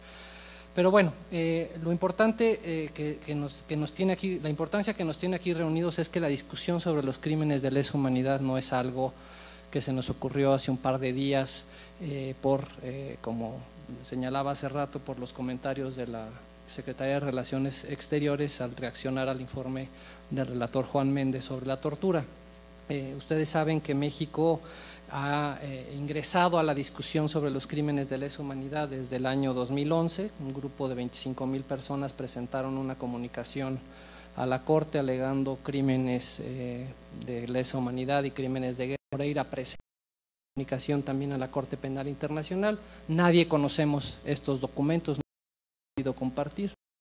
En, eh, en, ese contexto fue que la Federación Internacional de Derechos Humanos, la Comisión Mexicana de, Derechos, de Defensa y Promoción de los Derechos Humanos, presentamos una comunicación en 2012, eh, un poco para presentarle información sobre los crímenes eh, que se estaban cometiendo en México, particularmente por agentes, eh, crímenes que parecía que tenían una conexión abundar demasiado de la relación que se podía desprender de los mismos. En 14, en septiembre, presentamos una segunda comunicación eh, también con, con, la Federación Internacional de Derechos Humanos y la Derechos Humanos del Noroeste, una organización de Baja California, específicamente sobre tortura en Baja California. Eh, documentamos 95 casos, Paulina hablará un poco más de eso eh, en donde encontramos una sistematicidad en el uso de la tortura. Entonces, la discusión, esta discusión técnica que queremos tener sobre los crímenes de lesa humanidad se da eh, no solamente en el contexto de esta información enviada a la Corte, sino también en el contexto de una posible apertura de un examen preliminar por parte de esa etapa, que ya Paulina también es esto de los exámenes preliminares, pero que es eh, el, pues el a decidir si solicita la apertura la Corte para iniciar una investigación sobre, sobre el país. Eh, aquí simplemente quiero destacar que, que, hay cuatro etapas eh, y que eh, la primera no es pública, la segunda ya se hace pública, es decir, qué es lo que está pasando en los países sobre la que tiene información y la tercera ya es una fase más alta, ya entendemos que es la de, de, práctica puerta de entrada a la solicitud de autorizar, platicar de esto un poco más. Eh, y a mí lo que me gustaría es que, eh, en mi opinión, la situación de por la información pública existente preliminar que actualmente tenga la Corte bajo consideración. En una revisión del informe sobre exámenes preliminares de la fiscal del año 2014, tres países en la fase 2 de examen preliminar, en donde se analiza la competencia material de la Corte. Entiendo que debe ser muy superficial, como Daryl respondió a una de las preguntas. Aquí no se trata de probar nada, se trata simplemente de allegar información y tratar de juntar los puntos eh, que se establecen en el estatuto sobre la competencia material y los otros elementos de complementariedad en otras fases y admisibilidad, pero no se tiene que brindar mayores eh, aportaciones porque la Corte no tiene mayores facultades para investigar, simplemente recibir información. Eh, y hablando de números, por ejemplo, en el caso de Honduras, que es uno de los tres eh, países que está en situación en la fase 2 de los exámenes asesinato se refieren a 100 personas asesinadas en el contexto de los golpes de Estado en contra de Manuel Zelaya. Eh, en Irak, por ejemplo, de asesinato se habla de 16. ¿no? La situación de Irak, que pudiera ser una situación que a todo el mundo nos llamaría la atención, pero pues están 16 asesinatos. Y en el caso de Ucrania, que es el tercer país, se habla entre 118 y 125 personas asesinadas. Eh, en, en, estos tres países también se habla de la tortura, especifica cuántas personas han sido torturadas en, en Honduras, eh, en Irak 412 personas torturadas y en Ucrania al menos dos casos que fueron relevantes. En materia de desaparición forzada de personas, el caso de Honduras menciona que hay casos, no se dicen cuántos, en el caso de Irak no se mencionan y en el caso de, de Ucrania tampoco. Em, pasando a los países que están en la fase 3, una fase en donde se analizan ya más elementos del estatuto, eh, hay cinco países, Afganistán, Colombia, Georgia, Guinea y Nigeria. De asesinatos, en Afganistán se habla de 17.500 asesinatos, en Colombia se habla de asesinatos pero no cuántos, en Georgia se habla de asesinatos pero no se especifican cuántos, en Guinea se habla de 156 personas asesinadas o desaparecidas sin especificar unos y otros, y en Nigeria se habla de 340 asesinatos eh, por el grupo de Boko Haram y eh, se habla de 600 asesinatos por las fuerzas de seguridad del Estado. En, todos los casos, eh, salvo en Georgia, se habla de tortura, pero no se especifican números. en materia de desaparición forzada se habla solamente en el caso de Guinea, con 156 que no se distinguen interno forzado, que es un elemento eh, sobre lo que no voy a abundar mucho en mi presentación de México, pero que también es un tener en cuenta. En Colombia se habla de 18 casos identificados eh, de desplazamiento interno. En Georgia se habla de 138 mil eh, personas de desplazamiento interno forzado. como por lo que se refiere a las dos solicitudes de, autorización para iniciar una investigación de oficio que la fiscal ha utilizado esta facultad en los casos de Kenia y de Costa de Marfil, eh, también de una revisión de las solicitudes y de la autorización eh, podemos desprender algunos datos. Eh, por ejemplo, la sala de cuestiones preliminares en el caso de Costa de Marfil se refirió a que hay entre 700 y 1048 civiles asesinados en el contexto también de la crisis electoral. Em, y luego se habla, por ejemplo, de 47 casos de violación sexual. En materia de desaparición forzada se hace referencia a un informe de la Oficina de Naciones Unidas la droga del delito, en donde mencionan a 72 personas sustraídas responsabilidad de, de personas y eh, se hace referencia a una oficina de la Alta Comisionada de Naciones Unidas para los Derechos Humanos que reconoce que al menos 100 personas habían desaparecido después de la violencia postelectoral. Las cifras de, un caso como son muy lo que podemos comentar de la situación mexicana. La decisión eh, en la investigación eh, se de entre 1.133 y 1.220 asesinatos, más de 900 casos de violación y violencia sexual y aproximadamente 350.000 personas y reportes de 3.561 lesiones graves en seis de las ocho provincias de Kenia. Em, bueno, teniendo esto en mente, eh, ¿por qué creo o creo que en México estamos eh, con condiciones la Corte presuma que se están cometiendo o se han cometido de lesa humanidad en México. En primer lugar, eh, porque los crímenes que voy a mencionar después de la entrada en vigor del Estatuto para México, es decir, con primero de enero de 2006.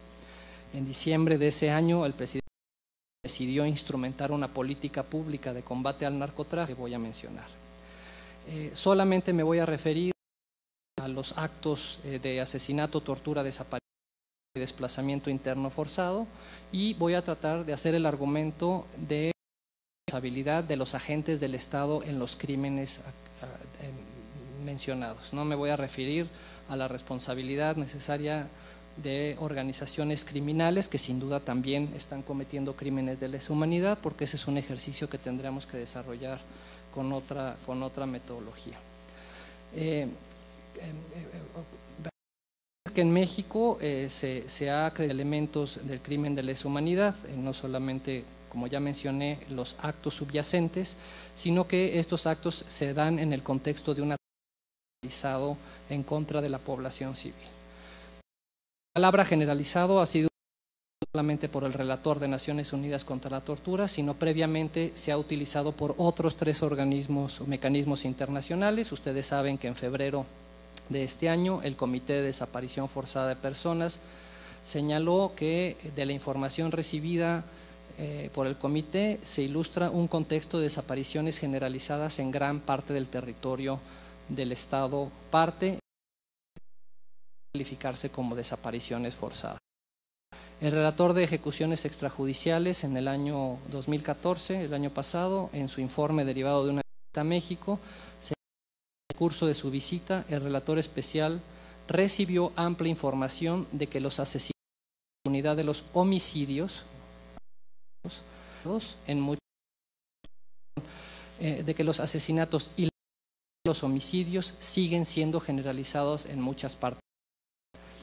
Y eh, el, grupo de trabajo de desapariciones forzadas eh, se refirió a un de secuestros y delitos con similitudes a las desapariciones forzadas que son cometidos por grupos del crimen organizado, sin embargo, habrían sido registradas por grupos organizado actuando de forma independiente.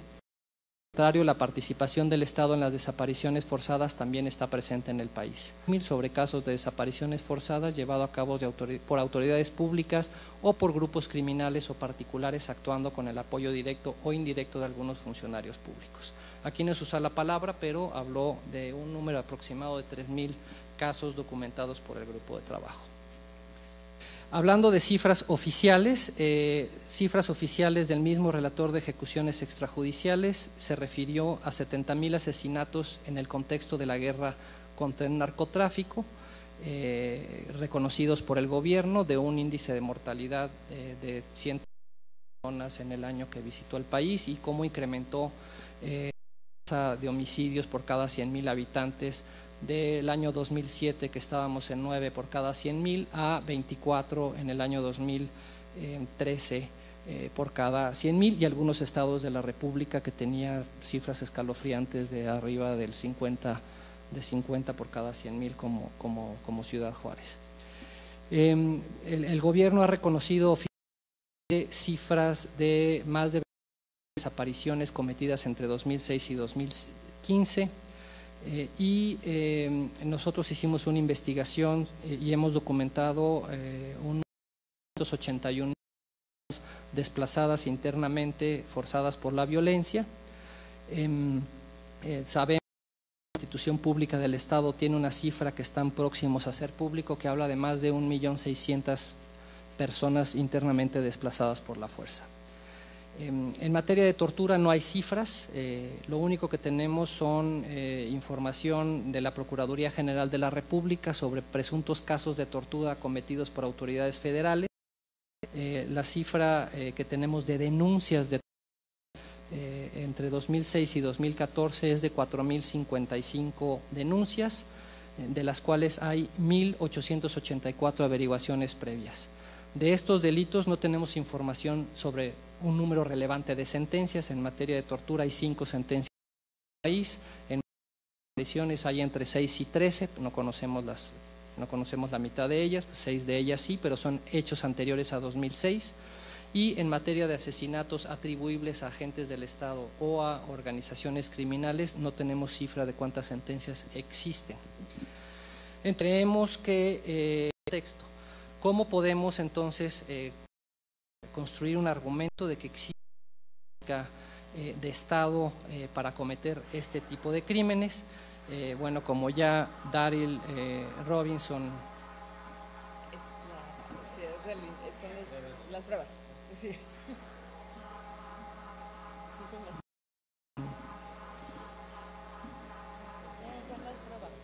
Bueno, seguimos entonces.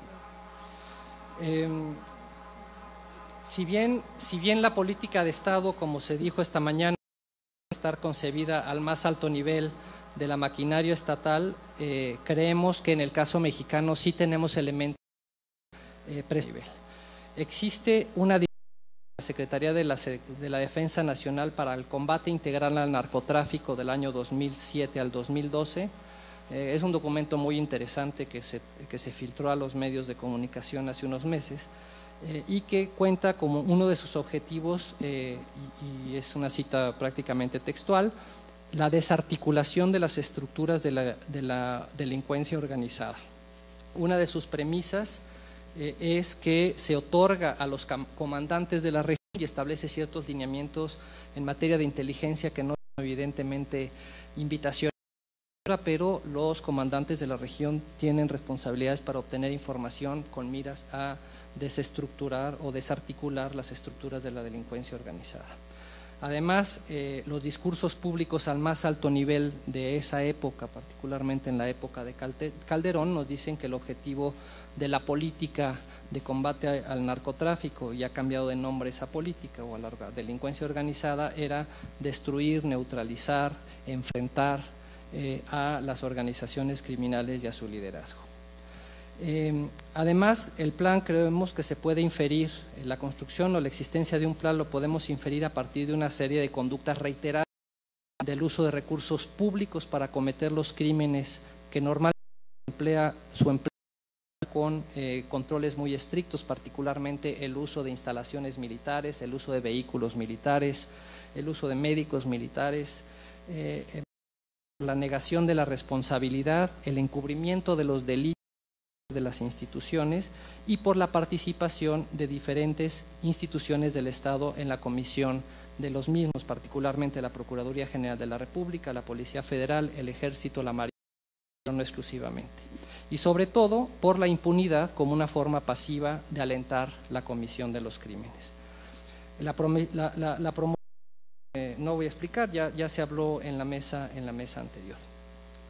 Y luego, ¿cuáles son las pistas para inferir que los crímenes no son crímenes aislados ni violaciones individuales o que pueden ser al azar? A continuación voy a mencionar que los crímenes eh, son, son cometidos por servidores públicos y que están plenamente acreditados por la CNDH, por la Comisión Nacional de Derechos Humanos, lo cual eh, sin duda nos da luces sobre por dónde podemos identificar el plano política, pero eh, esto no refleja la totalidad de casos, ni mucho menos eh, ni mucho menos eh, una cifra que se, se, pueda acercar a la realidad. Pero sí han comportado las recomendaciones eh, de la CNDH en, en, contra de estas cuatro instituciones es muy interesante. Eh, la Sedena, particularmente a partir de 2007, que es cuando empieza a, sacar las recomendaciones relacionadas multiplica en un 600% en un solo año el número de recomendaciones que se emiten, eh, que se emiten en su contra. De las cuatro instituciones, de las recomendaciones que se dirigen en su contra, respecto a la totalidad de las recomendaciones de la, Comisión Nacional de Derechos Humanos es escalofriante. Por ejemplo, en el 2007, el CDH emite 70 recomendaciones. De ellas están relacionadas con la política de seguridad del narcotráfico cuatro están dirigidas a la Secretaría de la Defensa Nacional. En 2008 emite recomendaciones de las cuatro, de las cuales 12 de política de seguridad, 8 son de la SEDENA, una de la CEMAR, 12 de la Secretaría de Seguridad Pública y una de la Procuraduría General de la República. En 2009, 78 recomendaciones, ellas son eh, vinculadas a la política de seguridad, de las cuales 21 son de la Secretaría de la Defensa Nacional de la Secretaría de Marina, dos de Seguridad Pública y cinco de la PGR. 1086 recomendaciones totales, 29 relacionadas con la política de seguridad, 19 de la Sedena, 6. Y ya el último número, para no aburrirlos, me brinco el 2011. En el, en el 2012 se emitieron 93 recomendaciones, 30 de ellas en contra, uh, de, relativas a la política de seguridad, 15 eh, para la Sedena, 9 para la CEMAR, 6 para Seguridad Pública y 3 para la PGR. Eh, de estas recomendaciones totales eh, sacamos el número de víctimas y estamos hablando de un número eh, aproximado de, eh, de, 600 y pico víctimas con la política de seguridad. Eh, esas 600 y pico de víctimas, eh, hablamos de 84 eh, asesinatos, son atribuibles a la Sedena, 13 a la CEMAR, 10 a la Secretaría de Seguridad Pública y 3 a la PG. Sobre, eh, sobre, tortura, eh, el es, muy es muy difícil de, de, de, identificar. porque como se registra en las comisiones públicas no necesariamente está relacionado directamente con, el, con la violación. Por ejemplo, eh, puede llegar una persona a, a denunciar víctima de malos tratos, pero no identifica la palabra tortura en su declaración.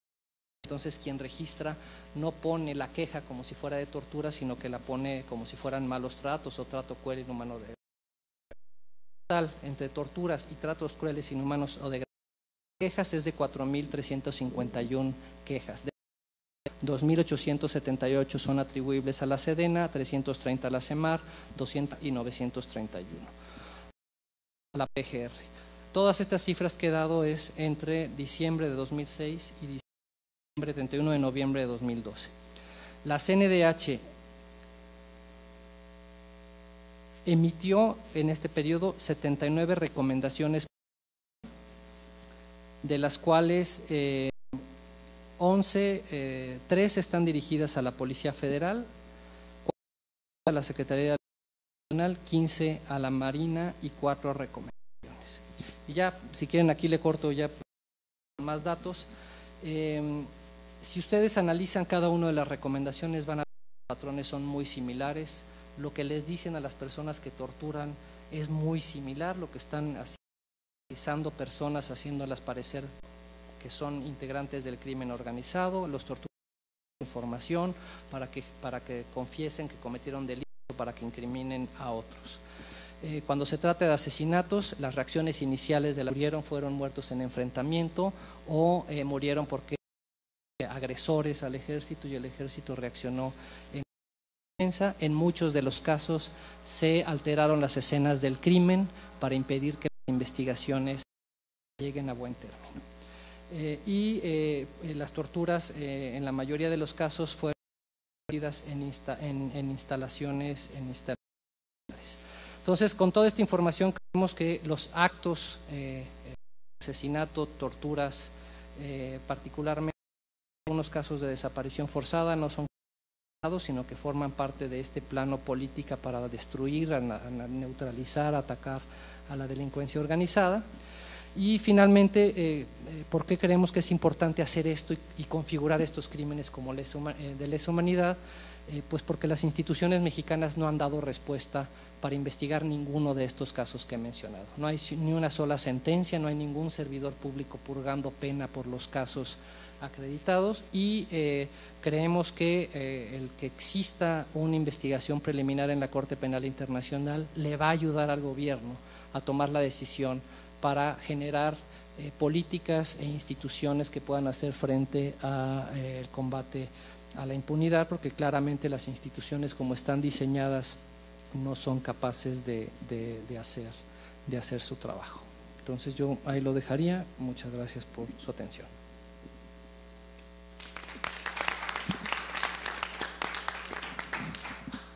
El micrófono a Paulina. Adelante. Muchas gracias Alejandro. Yo también quiero comenzar por agradecer particularmente al CIDE por tener este espacio para discutir estos temas que, como ya decía José, hace varios años intentando eh, llegar a un nivel eh, que nos permita realmente tener una discusión sobre cuál es la gravedad eh, de la situación que estamos enfrentando en México.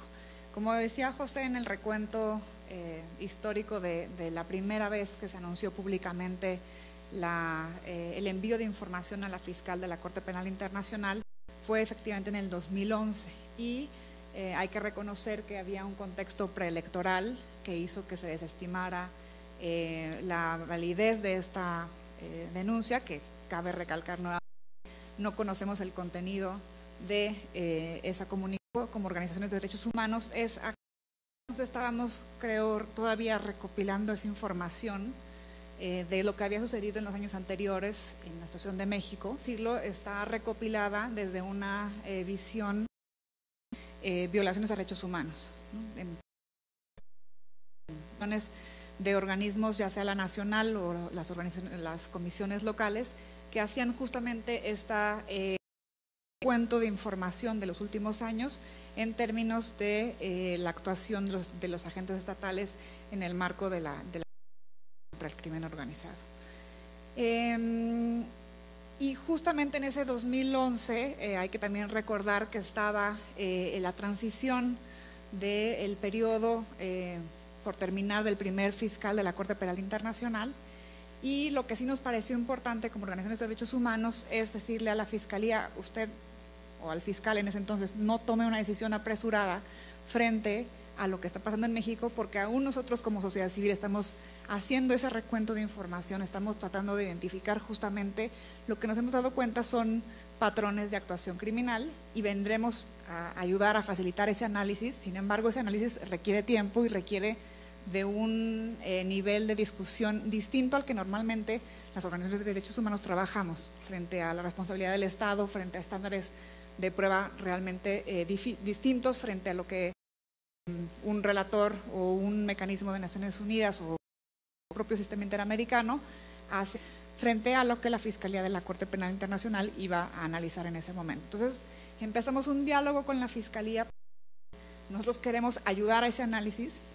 Creemos, por lo que estamos, la información que, hemos eh, juntado al que escribe José, que hay elementos suficientes para considerar que eh, México es una situación potencial de, examen a la Corte y también queremos ver cuál es la actuación del Estado frente a estas eh, recomendaciones. Entonces, así empezó nuestra interlocución con la Fiscalía de la Corte Penal Internacional en esta primera comunicación que, como dice José, lo utilizamos la información pública, no es ninguna información confidencial, es información que estaba ya eh, publicada por no solamente en eh, instancias nacionales, sino también internacionales. Y lo que hicimos fue hacer una, lo que llamamos traducción al lenguaje eh, de derecho penal internacional, de cómo nos identificábamos ciertos patrones y cierta eh, gravedad de la situación. Y eh, aprovechamos también para decir que eh, comparar como la colombiana, donde el Estado tenía fuerte discurso de que los responsables eran justamente actores no estatales, los actores no estatales, por lo menos por la información pública que teníamos, no estaban siendo investigados por crímenes de lesa humanidad. ¿sí? Si eran los principales responsables y solamente eran los malos contra los malos, los malos no estaban siendo investigados por estos crímenes. Y estaban, eh, igual que en el caso de Colombia, los principales em, cabezas de los, de los grupos de, crimen organizado fueron extraditados a Estados Unidos bajo cargos que no tenían relación con justamente esos crímenes que nosotros percibimos por la prensa estaban cometiéndose y que podrían también tener una caracterización de crímenes de lesa humanidad. Entonces, Em, fue parte también de nuestro análisis con la, con la Fiscalía, decir, pues, pero bueno, a lo mejor el Estado tiene esa información y aquí eh, puedes ah, iniciar un diálogo justamente entre la Fiscalía y el Estado para saber, a lo mejor el Estado no lo conocemos, pero sí tiene abiertas investigaciones sobre eh, otros eh, crímenes imputables a los agentes no estatales o a que también, pues, veíamos, tienen una, una política criminal. Para continuar con el análisis de, México eh, y en particular de lo que pasa ante la Corte Penal, en hablar de esta em, etapa de la Corte Penal Internacional, que es el examen preliminar. El examen preliminar, hay que decirlo, eh, una regulación en el Estatuto de la Corte Penal Internacional en cuanto a tiempos, en cuanto a eh, qué necesariamente de regir en este, en este eh, periodo y es el periodo justo previo, ese es el, periodo donde la fiscal va a hacer el análisis para saber si puede con una investigación eh, a una autorización a, los jueces de la Corte si utiliza sus eh, facultades de eh, propio. Es nada más comentar con ustedes, hay un documento oficial de la Fiscalía de la Corte Penal Internacional, está publicado, es de fecha del 2003 y ahí la fiscalía lo que intenta es dar, pues, elementos de certeza sobre cómo se analiza o cómo la parte del examen preliminar en la fiscalía. Hay que organizaciones de la sociedad civil que acompañamos o que estamos de cerca viendo cómo se desarrolla esta em, etapa, todavía a pesar de estos papeles de política general que describen cómo eh, son los pasos, todavía nos quedan muchas dudas realmente en la práctica eh, los tiempos, los, eh, los estándares que, que, la Fiscalía utiliza, pues repente eh, vemos situaciones como la propia colombiana, que llevan más de nueve años en una etapa de investigación preliminar y que este, justamente no, no es claro cómo es que la evolución o se hacen los descartes. Las, quienes están en la lista de qué estados o situaciones están en la lista de investigación y en qué etapa están, y algunos este, exámenes o unos en situación, como el caso una explicación un poco más detallada, pero aún así todavía los criterios están muy al, eh, al arbitrio de la, de la interpretación de la Fiscalía y no existe un control judicial eh, frente al tiempo que pueda tomar justamente la Fiscalía en este análisis. Decirles, eh, la Fiscalía lo que dice, nosotros estamos de eh, lo que dice el Estatuto de la Corte Penal Internacional. El artículo 42 dice que estamos obligados a examinar la información recibida y esa es la parte del examen preliminar. Eh, además de lo que pueda mencionar el artículo 15 en su párrafo sexto, eh, al referirse de esta etapa de eh, previa. Entonces, existen cuatro, em, cuatro etapas. Fiscalía, sus, sus eh, actuaciones, ya decía, no son de investigación, son solamente de análisis, de corroborar que esta información que recibe verás. Y eh, es una etapa que la Fiscalía dice siempre realiza, aún aunque sea información enviada por particulares o cuando eh, incluso los estados remiten la información, son pasos que la Fiscalía tiene que reevaluar antes de tomar cualquier decisión. Y bueno, habla de los principios generales que rigen esta etapa, el tema de la evidencia, que es un tema que está eh, a, la, a, la, Fiscalía de, de, determinar que no está limitada solo a la información también puede hacer, eh, hacerse de información. Es una etapa que es eh, imparcial, dice eh, y criterios que nos ayudan avanzando en el análisis. Es una etapa que se rige por el principio de objetividad, en el sentido de que revisan justamente las fuentes de información tienen unos métodos estándares para hacer justamente eh, ese método estándar de evaluación de fuentes y unas reglas de mediación y atribución del análisis de los crímenes.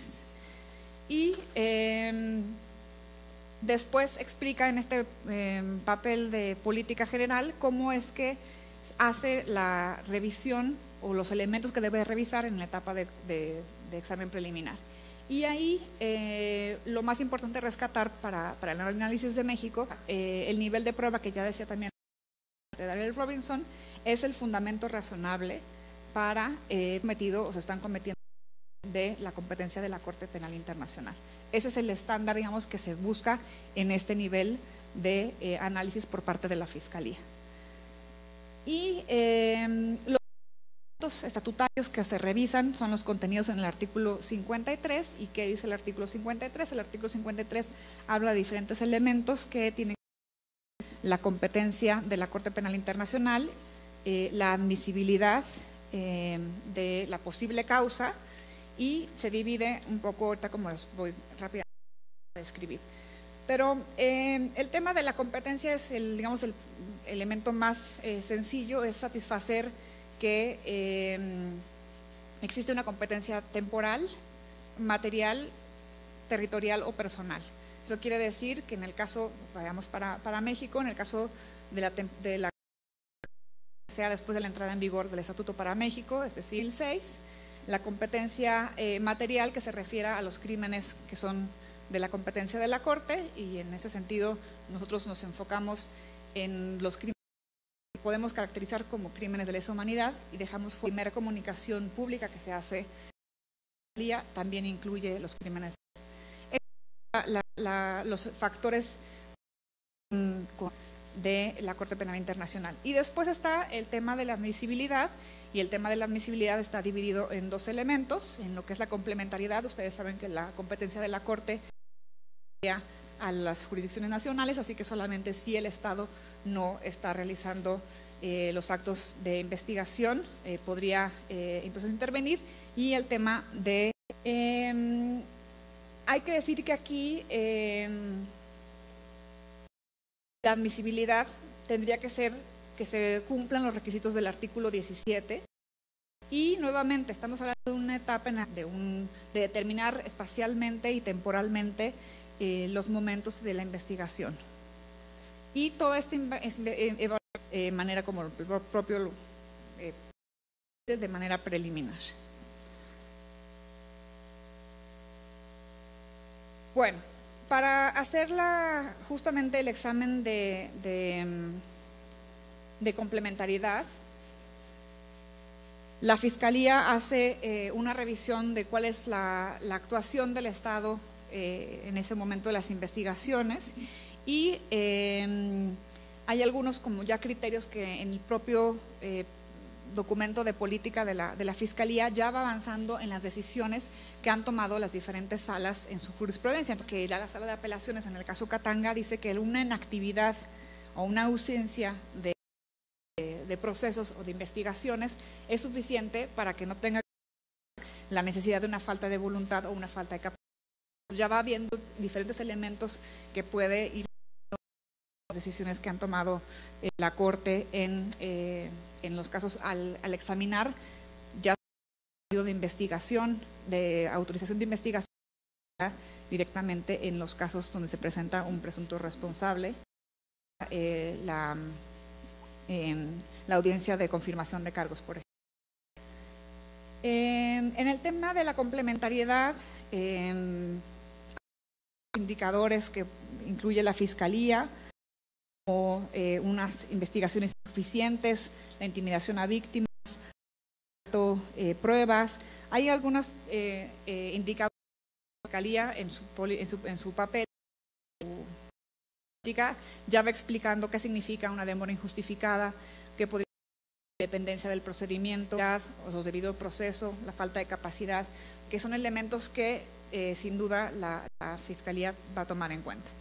Y otro elemento de la, em, de la admisibilidad, como les decía, es la gravedad internacional. Y algunas cuestiones de eh, elementos que incluye la Fiscalía son la escala, la naturaleza de los crímenes, la manera de comisión y el impacto.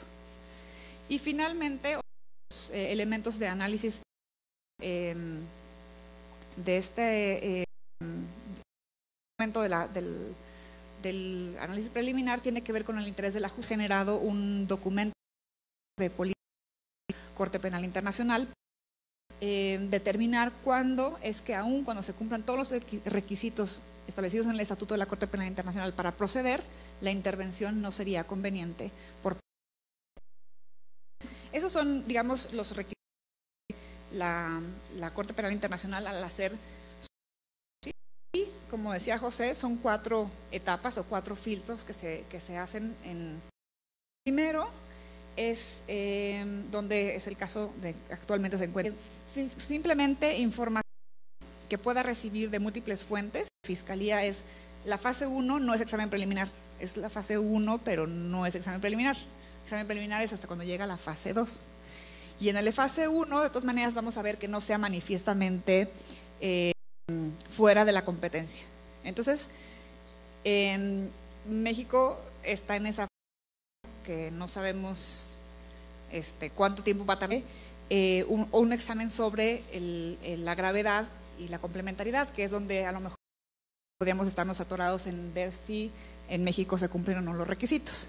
Nosotros alegamos que, que, que sí, con la información que decía José, pero básicamente en esta fase 1 lo que dice es vamos a distinguir cuatro tipos de comunicaciones. Comunicaciones son la palabra que le llaman a la información recibida. Uno, los que son manifiestamente fuera de la competencia de la Corte, es decir, no, no son del periodo o no son de un Estado que no es parte de eh, situaciones que ya están en Colombia, bueno, Colombia es en examen preliminar, está, está, está, está a este grupo. Tres, ya está en investigación, porque recibieron información adicional, una investigación entonces ya la incluyen en, esto. Y cuatro, manifiestamente fuera de la competencia de la Corte y requieren un análisis, Entonces, ese es donde está actualmente eh, de México.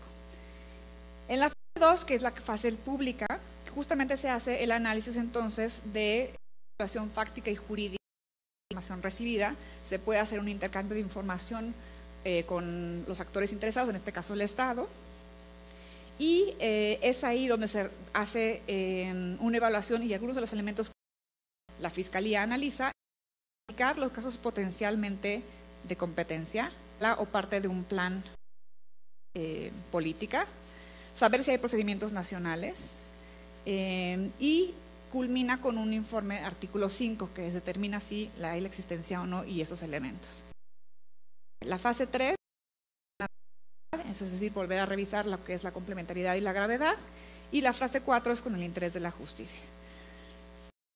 Lo alegato a, la situación de México es que México realmente es ya una situación de examen preliminar no reconocida. En postura de la fiscalía es no, está no es pública porque no hemos determinado que no sea manifiestamente eh, fuera de la competencia. Eso sería la, respuesta que tendrían que dar. Sin embargo, lo que dicen es, estamos analizando la gravedad.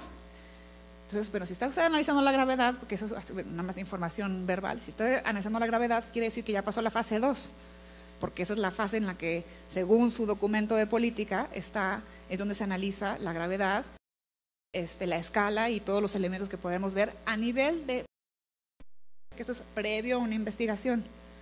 Entonces, nuestro alegato con la Fiscalía es, creemos que em, eh, México ya debería estar en la fase 2 si usted está haciendo justamente ese análisis en la gravedad de, em, la situación de, México. En la parte de la competencia se examina justamente en la fase 2 de la Comisión de Crímenes, eh, o no. Y em, también decirles, para concluir, que ya se me, yo creo que ya me extendí, Em, que em, este ejercicio de la, de la investigación, de la información que se analiza, es en la etapa de examen preliminar, donde la Fiscalía no tiene poderes de investigación y donde sí hay, lo que hemos alegado, donde sí hay dudas sobre la, sobre la información que em, requiera la Fiscalía eh, conocer, pues es justamente durante la investigación y con los poderes de facultad de investigar que pueda hacerse de esa información.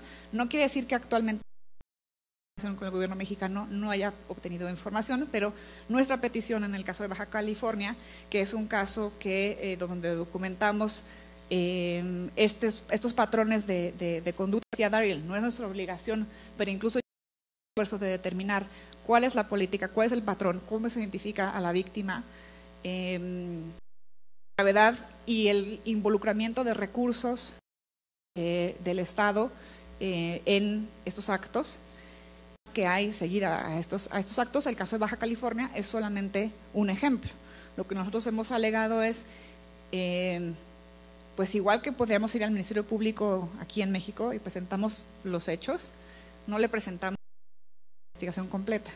Cuando sabemos que con la información que enviamos, y que es la de, contexto, y la segunda comunicación, que es un ejemplo, el mejor ejemplo, no lo sabemos, es el ejemplo que tenemos más claramente identificado.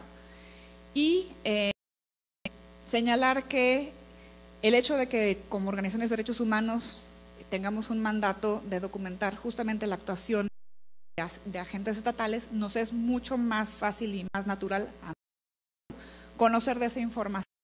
Es decir, que desconozcamos que el caso de México em, es un conjunto de diferentes actores o de diferentes patrones criminales. Uno, donde meramente participa el Estado, otro, donde participan eh, agentes no estatales con la mente son grupos de eh, agentes no estatales actuando eh, libremente. Entonces, lo que hemos hecho es un esfuerzo por dividir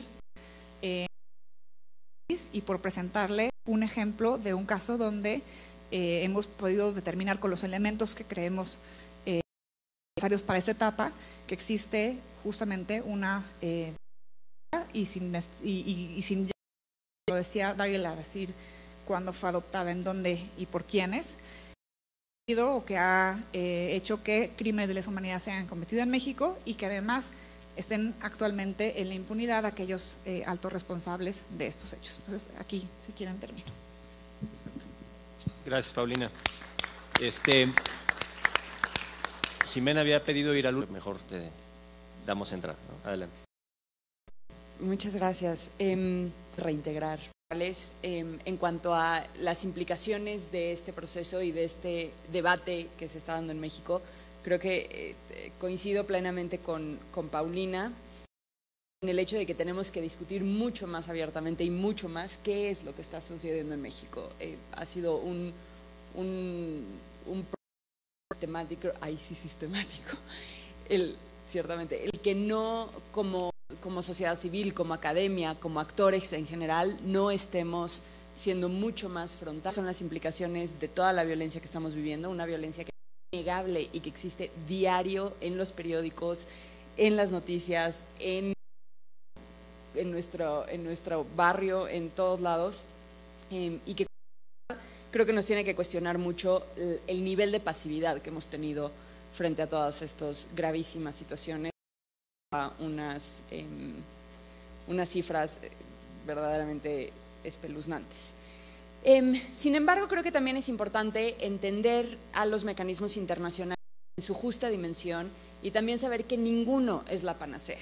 Eso regreso al, problema o al tema de tener esto como un problema de los, o sea, un problema de, nuestra sociedad que tenemos que enfrentar de manera muy integral, no nada más buscando una salida en específico, sin entender un contexto mucho más amplio eh, que otra vez tenemos que reflexionar.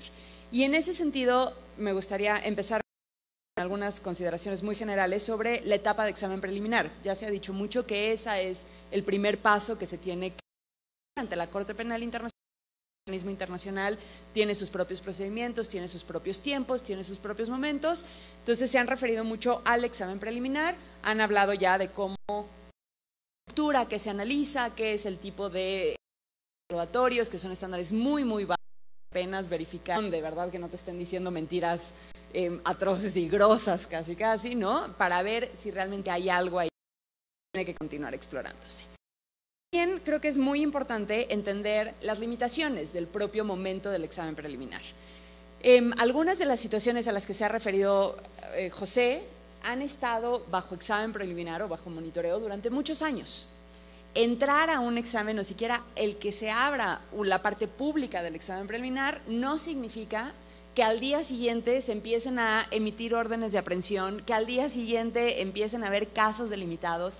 Es un proceso muy largo precisamente por lo complejo que son los delitos o los crímenes competencia de la Corte Penal Internacional y la cantidad de información que se requiere para realmente avanzar en cada una de estas etapas. ¿Por qué digo esto? Porque sí ha habido una preocupación, creo que bastante generalizada, en las expectativas que se pueden generar. Eh, las expectativas de qué sucede cuando, al, en caso, en el supuesto caso en que la Corte decida pasar a la ser público el que México pueda estar sujeto a preliminar eh, y hasta dónde eso nos ayuda o qué elementos nos da para seguir trabajando en el contexto mexicano.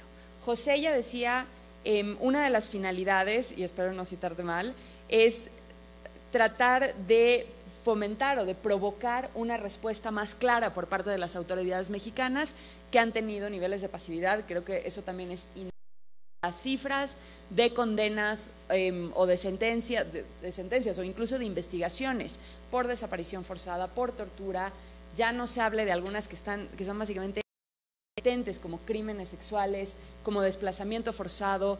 Todo eso son delitos que sí se podrían son muy alarmantes. Incluso con el caso de Ayotzinapa, algo que destaca, creo que no podemos pasar de lado, es que el procurador, el antiguo, el ex procurador general Murillo Caram, haya dicho que era tal vez una de las investigaciones más complejas que se habían hecho casi en la historia de los procedimientos penales en México. El problema es que tenemos 23 mil desaparecidos, 23 mil personas que por lo pronto no sabemos en dónde están y entonces, si esta fue una de las actuaciones más complejas y más eh, de, las de los operativos de investigación más avanzados y más detallados que ha tenido la creo que sí por lo menos surge el cuestionamiento y entonces ¿qué hacemos? ¿Van a poder replicar eso en todos los casos? ¿O cómo se va a seleccionar? ¿A qué otros casos van a entrar a este procedimiento tan complejo de investigación? Em, entonces creo que el tema que decía José Antonio de la falta de actuación de las autoridades mexicanas es ciertamente una respuesta. En otras situaciones, el diálogo que se establece en estas etapas de exámenes preliminares realmente han podido provocar mucha más reflexión interna dentro de las autoridades para ver qué más se tiene que hacer. Colombia creo que ha sido muy interesante el proceso, Paulina seguramente sabe mucho al respecto, porque en Colombia el tema muy importante ha sido el cómo es la actuación de las autoridades para investigando los crímenes que se puedan estar cometiendo en Colombia y en eso lo que se conoce en el penal internacional como la cooperación positiva, que es no nada más trata de llevar los casos hacia a, investigarlos y a procesarlos en la corte, sino más bien cómo se coopera dentro de todo el, mecanismo de la corte penal, un sistema, ya no nada más un existe la muy razonables sobre las capacidades técnicas de las autoridades para investigar para adecuada calificación de los crímenes. Eso nuevamente, el caso de Ayotzinapa nos sirve como un ejemplo de lo difícil que ha sido que las personas entiendan el valor de em, acusar y procesar por desaparición forzada y no por ningún otro delito. ¿no? La desaparición forzada en realidad es el tipo penal más adecuado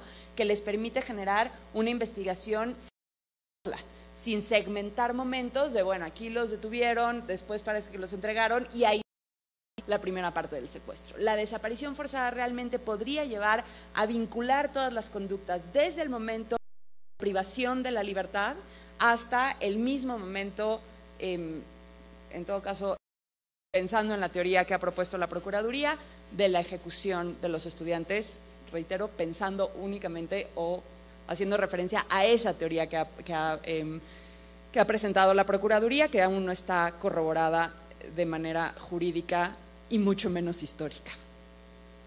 Entonces, regreso al punto. ¿Cuál es la importancia del examen preliminar? Pensarlo desde la realidad de México, pensar en cómo fortalecemos la capacidad y a las instituciones mexicanas. Mejor de los supuestos que se abra el preliminar, que se empiece, que se, que se logre la autorización judicial para que se abra una investigación, que se empiecen a delimitar los casos Ninguna situación en la Corte Penal Internacional tiene más de seis acusados, por ahí más o menos. Ninguna. Esa es la realidad. Seis acusados no dan respuesta a un problema de las dimensiones de las que nos estaba hablando. La Corte Penal Internacional es solamente pieza dentro de todo un complejo de cabezas de cómo vamos a enfrentar nuestra realidad hacia el futuro. Y eso no puedo dejarlo de enfatizar, sobre todo también pensando en las expectativas que se generan en las víctimas. Víctimas que han estado esperando respuesta, que cuando se habla de los procedimientos internacionales se pueden generar grandes de verdaderos procesos de justicia y puede resultar muy frustrante cuando elige tres casos y elige a tres responsables son únicamente en donde se van a centrar los esfuerzos de investigación y de persecución. Em, y ahí también, em, en toda esta complejidad del escenario mexicano, que creo que, creo que lo distingue, también regreso a un punto que destacaba Paulina. La idea de lo que se está enviando o lo que se ha enviado hasta el momento a la Corte Penal Internacional son unas que tienen un alcance particular por quienes las han planteado, pero que no son exclusivas. Quienes las han planteado nunca han dicho que esos son siquiera las situaciones o los eventos más graves que han sucedido en el Estado mental hasta el momento, que empieza a generar una, otra vez, duda razonable de que em, eh, la situación de México entre dentro de la calificación jurídica, dentro de las categorías jurídicas de competencia de la Corte Penal Internacional, particularmente por lo que corresponde a los crímenes de competencia de la Corte. Pero esa información va a ser fundamental que se continúe engrosando y suministrando a la Corte con más información. Cualquier actuación o cualquier análisis de la situación mexicana sobra decirlo, sería incompleta si no se entiende también la actuación de los grupos no estatales. Y el problema de los grupos no estatales, el análisis de la actuación de los grupos no estatales en México es particularmente problemática porque son grupos que tienen en muchos de los casos pocos incentivos de generar una opinión pública, la comunicación directa con la sociedad, de identificarse públicamente como a veces lo pueden tener guerrillas o cuerpos que tienen más intenciones políticas. Esos, esos tipos de actores tienen más incentivos para generar, digamos, una, una eh, eh, estrategia de necesitan ganar adeptos hacia su causa. Esa no es la condición de muchos de los, no de todos, hay algunos que sí han dado esta estrategia de relaciones públicas, pero lo han hecho y eso genera el que a veces no se sepa claramente cuál es la vinculación de algunos de los que vemos con algunos grupos, si en esos grupos también estaban eh, involucradas autoridades de los claros problemas que tenemos en México, ese análisis, para ver si la actuación de grupos es algo que puede involucrarse en una política del Estado o si es un fenómeno separado y entonces nos genera doble dimensión de análisis en la situación mexicana. Esto también, algo que ya decíamos, eh, el, el problema de si en México hay distintas regiones en donde se están dando distintos supuestos que pueden ser calificados de forma distinta. Sin duda, y sobra decirlo, no es lo mismo la situación en Coahuila que la situación en Michoacán, que en muchísimos, o en Tamaulipas, que en muchísimos momentos sí se ha acercado, por lo menos de manera muy eh, delicada, a poder contar, por lo menos, sencillos de la calificación de un conflicto armado. Eh, y si se puede afirmar que en algunos momentos o en algunas regiones de México ha habido un, un conflicto armado, ha habido situación de conflicto armado, un conflicto armado interno muy, muy sencillo del artículo 3 común, esa es una de las, de las categorías jurídicas con las que se analizan conflictos armados. Entonces también nos tenemos que preguntar cuál es la correlación de del Estado que se desarrolla tal vez de manera mucho más amplia dentro del territorio mexicano y cómo se vincula con estos procesos de conflicto o cómo en otros lugares tenemos crímenes de lesa humanidad más puros en, respuesta a esta actuación del Estado, de la política del Estado que están tratando de, de, de, por lo menos evidenciar las comunicaciones que se han enviado a la Corte eh, y la correlación con las otras situaciones. Eh, y un punto tal vez último que quería afirmar para demasiado tiempo porque todavía faltan otras, otras dos personas que seguro tendrán eh, comentarios muy, muy interesantes, sí es el tema de la gravedad. Eh, de esas cosas muy delicadas de explicar sobre la Corte Penal Internacional. Cuando hablamos que es una Corte que tiene competencia de genocidios, crímenes de lesa humanidad y crímenes de guerra, está reconocido en el propio estatuto que son los delitos más graves que pueden existir, o los crímenes más graves contra la conciencia de la humanidad y etc. el requisito de gravedad como requisito de, de, de, es adicional a la gravedad intrínseca de los crímenes. Es decir, la Corte va a conocer de los más graves dentro de las situaciones más graves en donde se están cometiendo crímenes de por sí gravísimos. Y eso, una de las realidades es que se hace en términos comparativos. Y puede ser algo muy... Eh, ¿Por qué una puede formalmente comparativo no ser suficientemente grave? Cualquier situación para un es tan grave como la siguiente. Es muy difícil. José ya se refería a una serie de, de cifras muy importantes que compara con los otros exámenes preliminares. Me parece que a pesar de que dan información bien interesantes, no creo que más cualitativos que haya encontrado la Corte dentro de esos exámenes. ¿Cómo está entendiendo la política? actores involucrados. ¿Qué otra capacidad tienen los actores involucrados de seguir cometiendo estos crímenes? Ir la comisión de crímenes y tratar de desarticular, digamos, de mucha gravedad. Entonces, creo que el contexto, la situación mexicana, en comparación con los otros exámenes preliminares, me parece un poco arriesgado. Tú mismo decías, las cifras del primer elemento no son el único, ¿no? Pero hay que ver cómo la Corte también ha construido todos esos otros elementos. Mucho peso, creo, a sus decisiones. O sea, decir que en Irak hay nada más un puñado de personas, pues es, es complicado cuando Irak fue uno de los grandes de principios del siglo XXI, ¿no?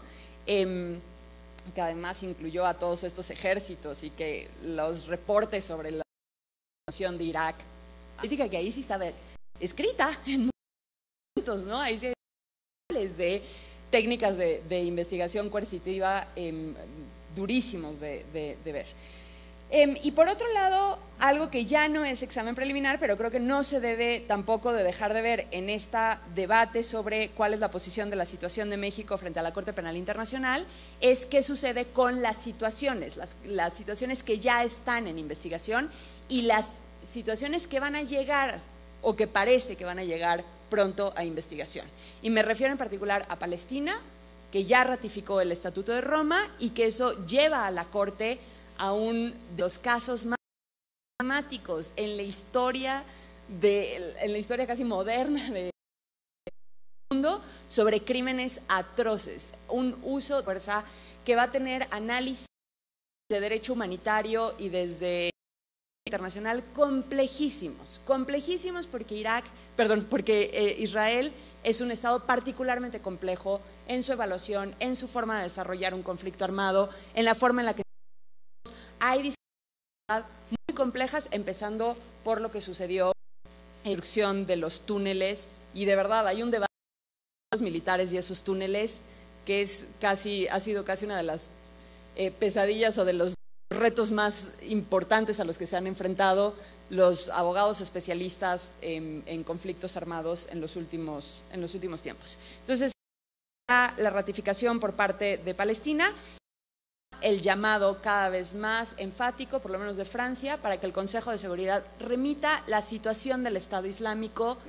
El Estado Islámico ha sido el, evento, la situación que ha modificado en seis meses toda una relación geopolítica que en verano tenía otros tintes radicalmente distintos. ¿no? O sea, la, la vinculación o la reorganización del debate geopolítico en virtud del Estado Islámico ha sido sin precedentes. Las resoluciones que se están adoptando en el Consejo de Seguridad son difíciles de entender en cualquier otro momento si no es que los esfuerzos de, él, de la comunidad internacional se van a enfocar ahí y por, una realidad muy sencilla. De verdad sí es atroz lo que está sucediendo. Las últimas declaraciones del secretario general de Naciones Unidas sobre los campos de refugiados atacados por el Estado Islámico y al mismo tiempo por, el, por, por las fuerzas de Siria hablar de que eso es el, último círculo del infierno en donde están atrapadas 18 mil personas, no es una declaración menor viniendo del secretario general. Obviamente, si eso se hace por remisión de un Estado o por remisión del propio Consejo de Seguridad, eh, serían, pasarían, pasarían por un análisis de la Corte, pero es un análisis mucho más sencillo que todo este... Eh, todo este proceso del que hablaba Paulina y entonces tal vez entrarían y no necesitan la autorización eh, judicial previa, entonces entrarían tal vez más rápido a una etapa de investigación. Claro, es una etapa que sigue es investigación procesal, que no se mezcla procesalmente con las, los exámenes preliminares, pero que personalmente me cuesta mucho trabajo que si pensar que si la Corte Penal Internacional está ya calculando que se va a enfrentar con estas dos investigaciones, eh, o haga mucho más trabajo o amplíe mucho más su trabajo en otras áreas como los exámenes preliminares. Eso creo que es una evaluación puramente de, feeling, no, no hay muchas bases, pero no creo que la Corte quiera recargarse mucho más, sobre todo porque también si le remiten la situación del Estado Islámico, habrá que ver los términos, ya con esto termino, los términos de la remisión, pero probablemente remitan completos los territorios de Siria y de Irak y eso también lanza al problema de hasta dónde hace la investigación en Siria, cuando en verano eh, China y, y, Rusia vetaron una remisión de la situación de Siria. O sea, vaya, se le viene un contexto de trabajo complejísimo a la Corte Penal Internacional y creo que en este tristísimo escenario de términos comparativos y de capacidades limitadas de las instituciones internacionales, creo que eso también añade elementos que complejizan eh, estos planteamientos sobre la situación de México y que por lo tanto, regreso al punto, hay que seguir alimentando el debate para denotar cada vez más cuál es la verdadera condición de la situación en México actualmente. Muchas gracias. Mena, em, sé que es injusto con los dos eh, colegas que faltan por hablar, pero sí es una y media y, y me gustaría que dejáramos tiempo para, ah, para la discusión con el público.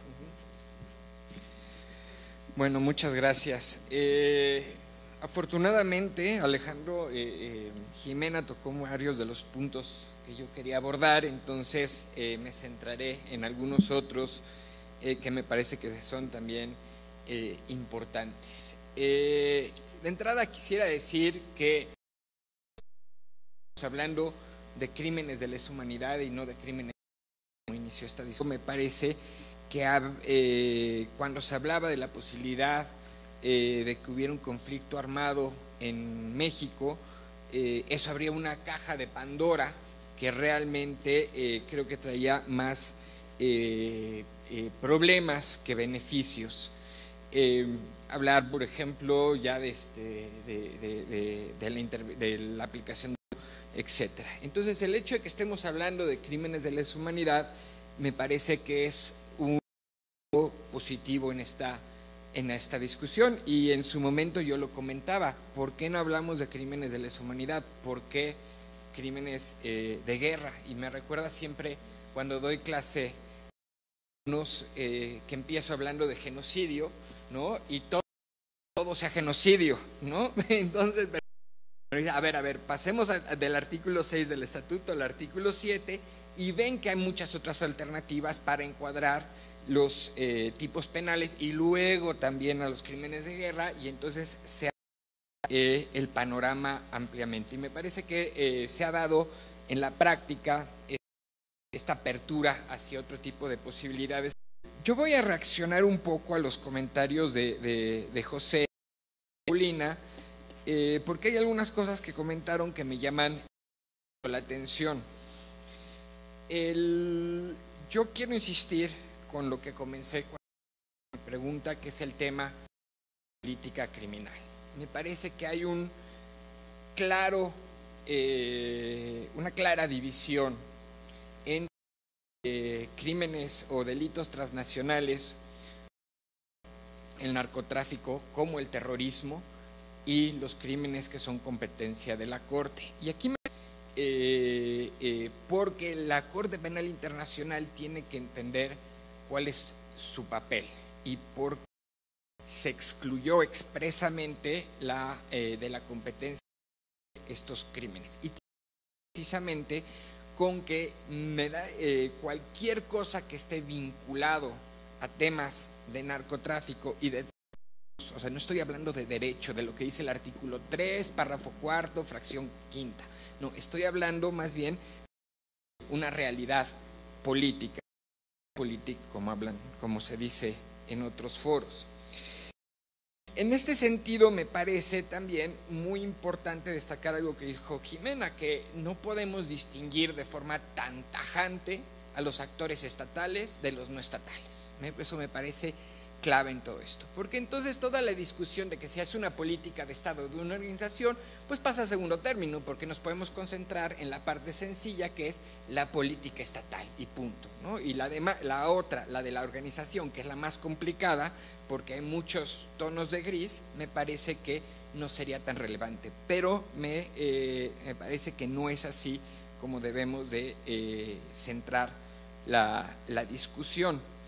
Eh, otro aspecto que me parece importante dentro de eh, estos aspectos es, volviendo otra vez al asunto de las opciones que hay para enfrentar la violencia eh, extrema que, vivimos en México.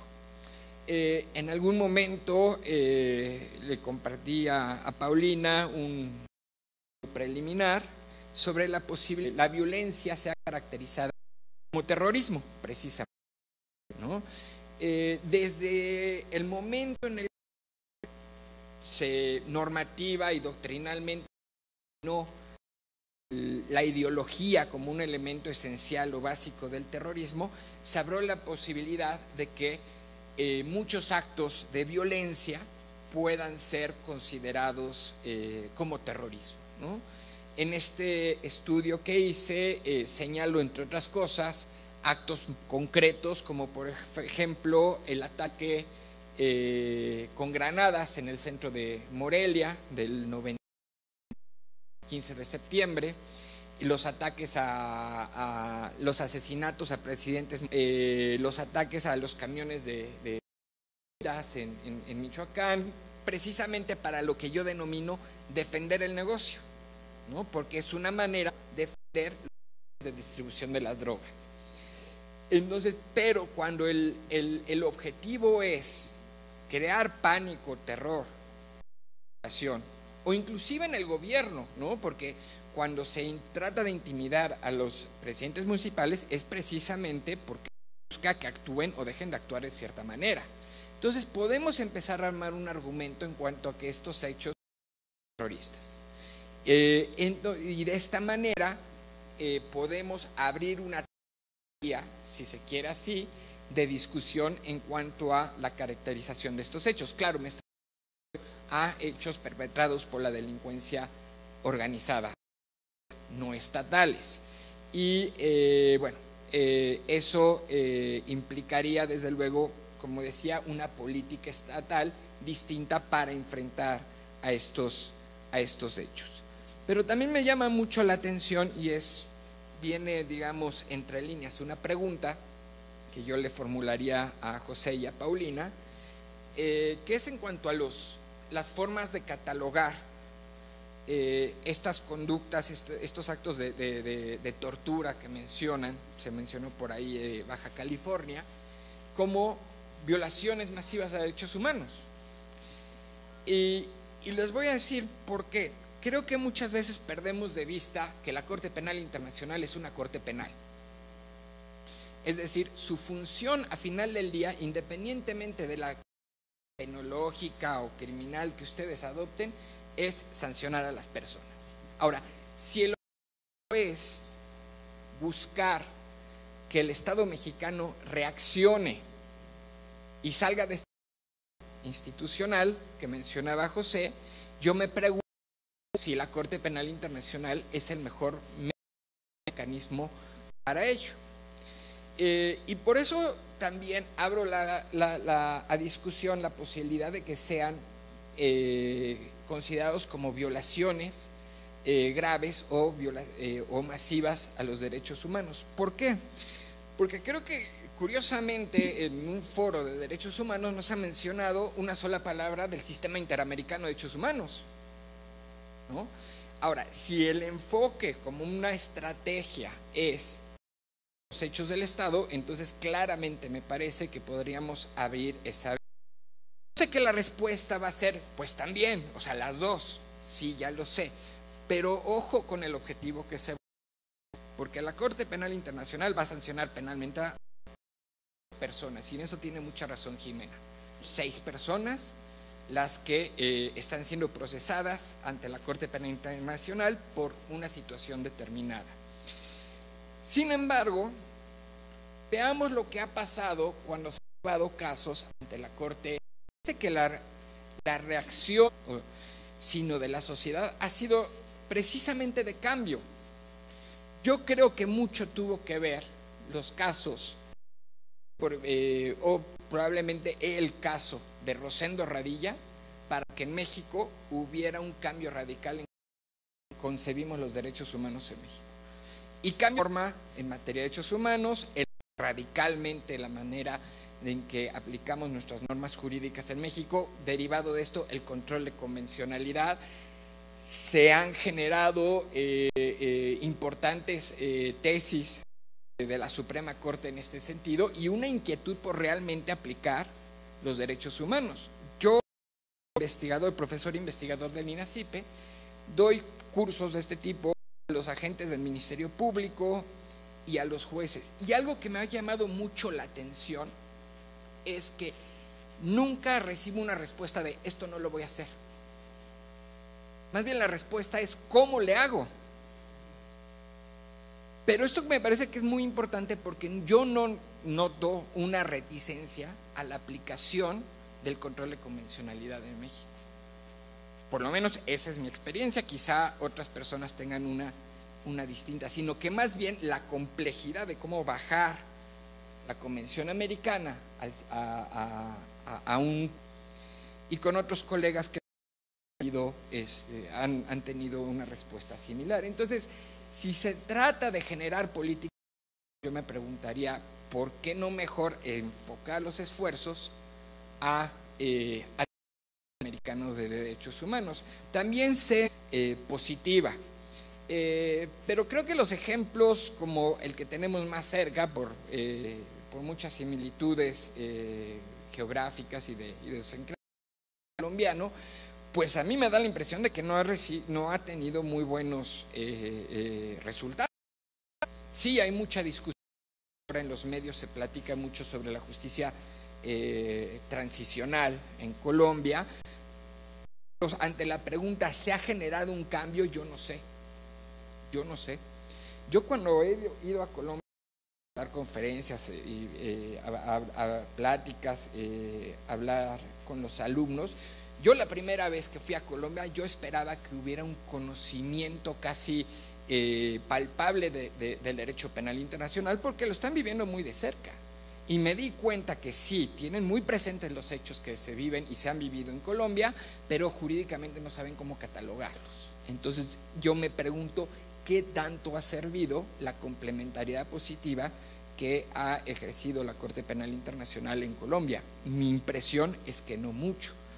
Contrasto esto con eh, de derechos humanos, que insisto, creo que hemos en México tenido una respuesta más positiva en este, en este sentido.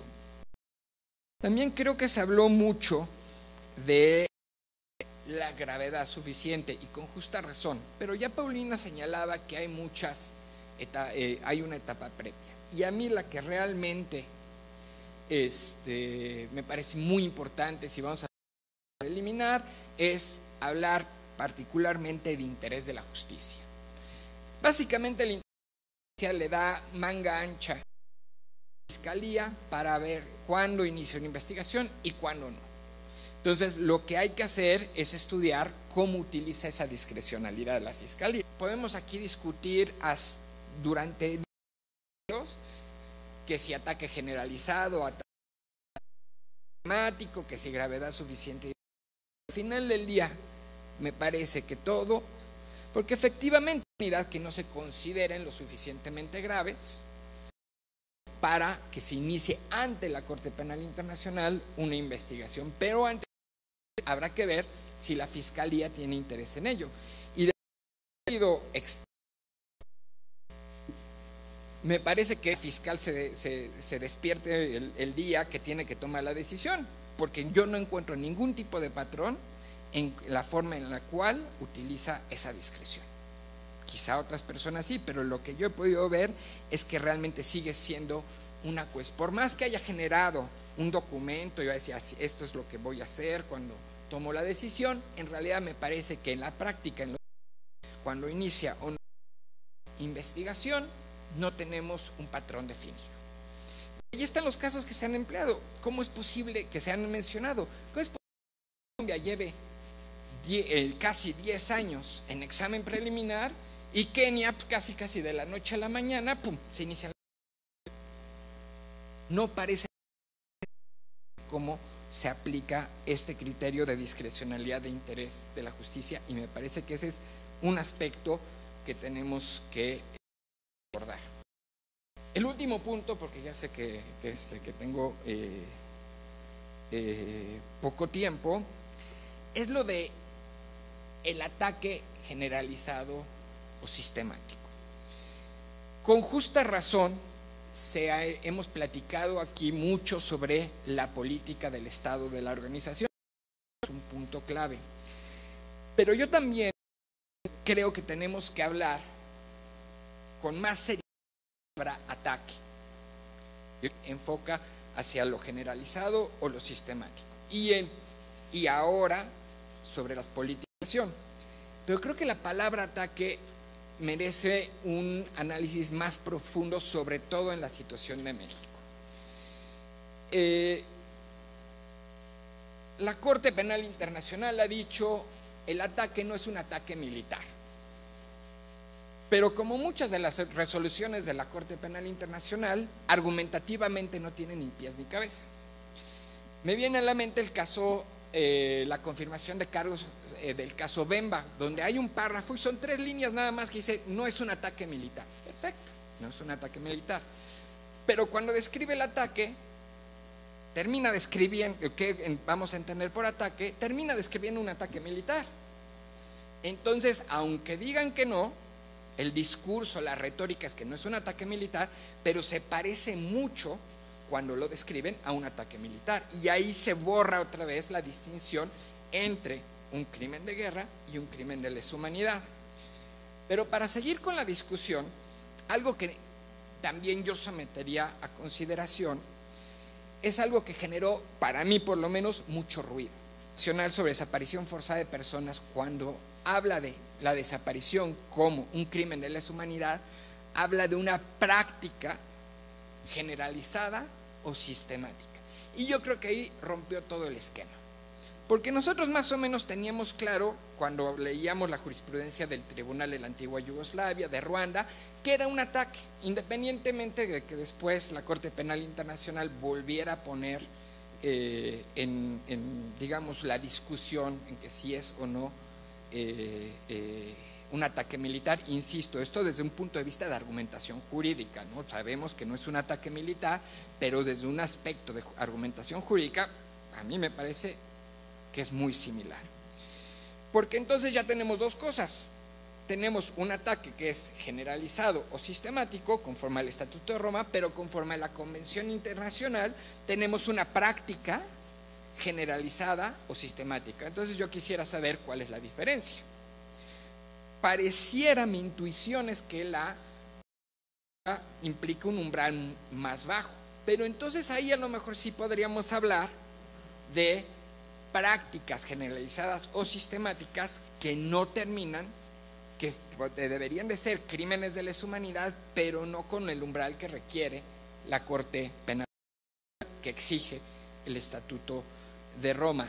Y aquí me parece que volveríamos a tener que preguntarnos si estos actores no estatales, la delincuencia organizada, está cometiendo prácticas, pero no ataques eh, o sistemáticos, eh, eh, como lo, o, o, lo señala en la Convención Internacional. Me parece un error Entiendo que puede haber ahí negociaciones políticas, pero desde el punto quienes analizamos el derecho penal, me parece que queda una eh, distinta que podría a su vez generar problemas cuando en estos casos como el mexicano, que insisto, tiene muchos, muchos problemas en cuanto a una clara eh, eh, clasificación ya sea como crimen de guerra, como crimen de deshumanidad, como terrorismo o como grandes, graves violaciones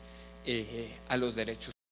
Entonces, bueno, eh, como se pueden dar cuenta, eh, cumplí con mi promesa que hice al principio, antes de ustedes, de que yo iba a hacer más preguntas que, dar respuestas. O, sé que es importante, precisamente, si se quiere seguir con estos, con estos esfuerzos para que se, se, inicie un examen preliminar, de que se tomen en cuenta estas eh, cuestiones.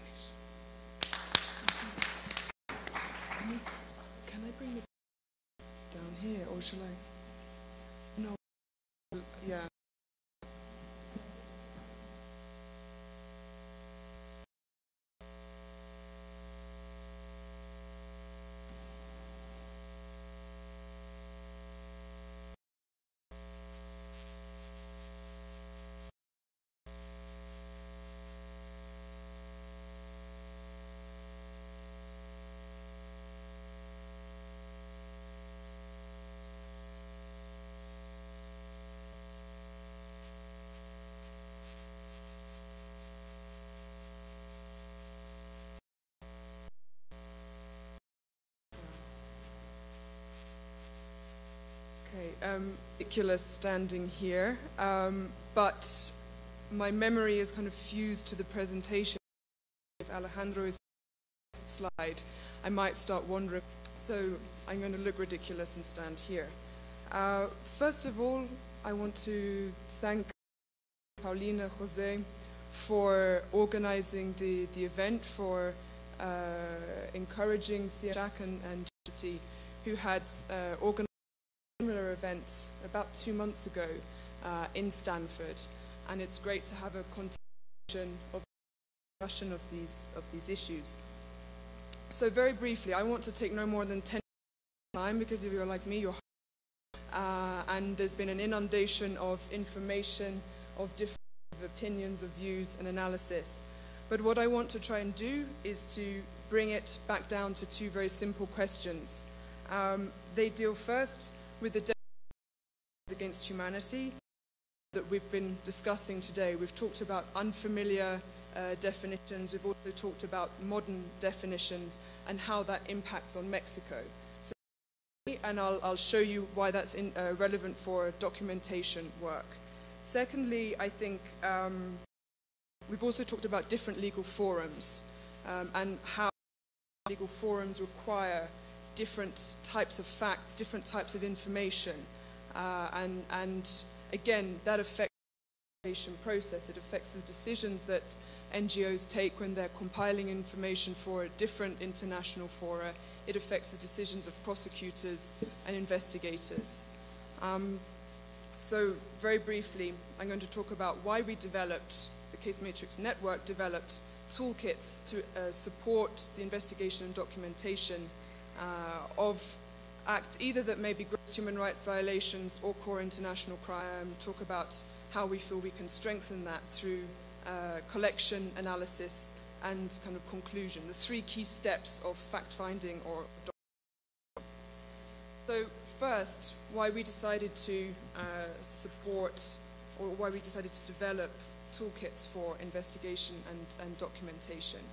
Um, observations that the Case Matrix Network has made for more than from work with national jurisdictions but also international or hybrid tribunals in more than 41 countries we've come up with a few sort of set of uh, analyses or general uh, observations. First, that, it, that these sorts of violations usually occur in extraordinary situations. The state rarely has uh, a, a standby capacity or capacity at the time of the acts to respond. And it often happens in periods of transition, in social crisis, or in armed conflict. Within that kind of specific problems, you find that there are often uh, different reactions and responses. Different bodies recover or document or, or, gather different types of information. And here in Mexico, it's no different with the disagreement over the figures of how many people there have been disappeared, how many torture, uh, instances of torture uh, and uh, murder. So the normal status is limited response or limited capacity of the state to respond and also engage with uh, or different types of, of challenges. And then also that, uh, I mean, as you can see on the screen, confusion over, over, the, figure, uh, over the facts and figures, and this usually results in some degree of uh, confusion, mistrust uh, between the different uh, actors involved in, in pursuing justice or accountability. The exceptional status is that the state has a, a standby capacity on quickly uh, and that investigations or cases might take place at different international fora. Uh, this has come up in the conversation today in terms of how many uh, cases are appropriate. Are six uh, high-level persons, uh, you know, high-level persons appropriate for such a, a high-scale uh, set of patterns? Um, and these are all important issues to discuss, but not ones that I'm going to really touch on, other than to give you examples of, of, uh, of the problems that we see. Second problem, when we come down to very basic documentation and fact work, we talk about smoking gun. You Very rarely find the smoking proves comprehensively that X person was responsible for committing Y and Z against another person. I think in, under the civil law system you, you use flagrancia in the act. Very rarely happens, and it very rarely talking about these kinds of what you have it means we have to. We have many, many, many different types of uh, information or evidence, and here uh, is a quick compilation of them from the classic kind of sets of interviews with victims, with witnesses, with, with accused persons, forensic, satellite imagery, media, news, and then evidence or basis that may be uh, accrued from various different sources. And nowadays we're seeing more and more the use of social media, of Twitter, of YouTube, of uh, citizen kind of reportage, uh, all of which can contribute towards how we document this, this work or, or these ty- types of violations.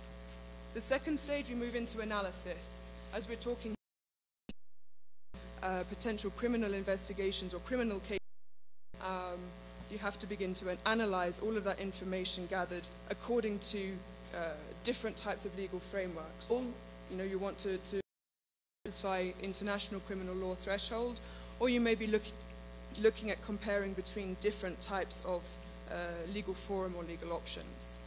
And finally, this is usually the output. You want to see a criminal case, you want to see an individual uh, standing trial for the violations that have been identified and, and uh, collected. But when you're starting, it often feels like there's a haystack and you need to find it. Where do you begin? It's quite a bewildering and, and uh, challenging situation for, for civil society as well as for investigators and prosecutors. And so the, um, the CMN has developed a, a toolkit, the investigation and fact-finding toolkit, uh, which rotates around a database. We're full of acronyms. I'm going to try not to refer to these acronyms, but just describe what they do. Um, so as I just shown, there are basically three core steps of documentation or fact work related to uh, the issues that we're discussing. The collecting of information, where you may identify and locate materials you obtain, verify, and then maybe register that information. Analysis, the second phase, where you may corroborate, uh, synthesize, structure, and organize that information according to perhaps the conclusion or the output that you may be uh, driving towards. And then the output, you may, and there are many different types of outputs uh, in documentation and fact work. It may be reports to international bodies, it may be uh, complaints towards national authorities, communications to the ICC, um, or even the opening of, of case files. But we can see these three key phases. Um, within the database that we have constructed, uh, its acronym is IDOC. I'm going to say it once uh, in case that, that stays with you in the future. So this database allows, follows the, the, proceed, the process of fact work from uh, acting as a basic uh, doc, uh, kind of repository of all of the different types of evidence or information that you gather, text, video, photographs, maps, etc. Uh, it allows you to analyze and uh, compare that information and to begin to organize it according to different categories so victims, protected objects, um, uh, testimonies, context, incidences, and, and suspects. And then it allows you, from that kind of compilation and creation of, of, of different uh, catalogues, to determine either facts, um, institutional involvement, what we've been discussing here, uh, human rights cases or criminal law. And this is a little bit how it looks like in, in the process of working. You throw in a lot of information of different documents in the registration or collection phase, and then you can begin to uh, analyze or catalog that information uh, in the square boxes, and then the outcome will be one or more, perhaps, of the, of the uh, sort of triangles on the top. Um, yeah. There was one thing I wanted to say. I'm trying to my notes. Um, yeah. Earlier, econometrics, statistical analysis, etc., etc., and how that can be useful for uh, trying to determine what kind of what kind of legal classification you give to a series or, or pattern of, of violations or practices.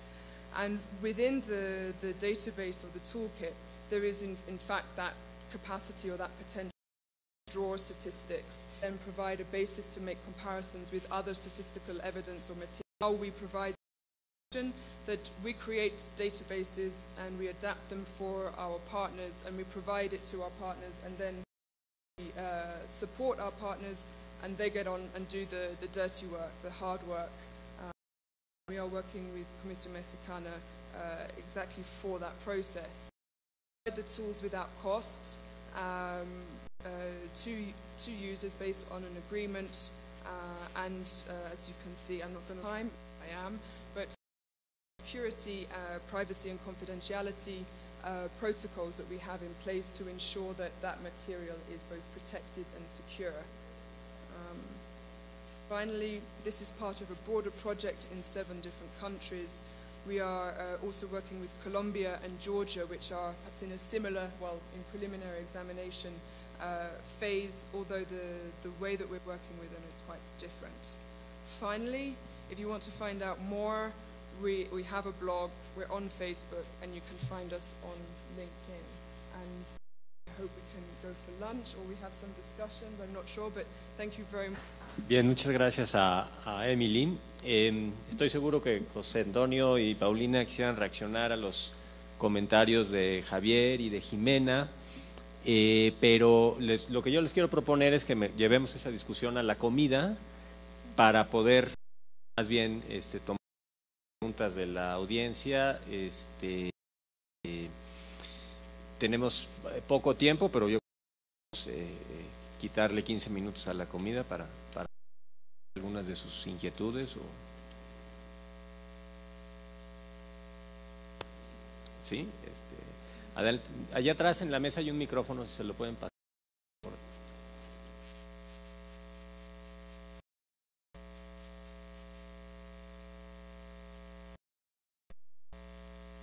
Primero, gracias por la conferencia, por la mesa.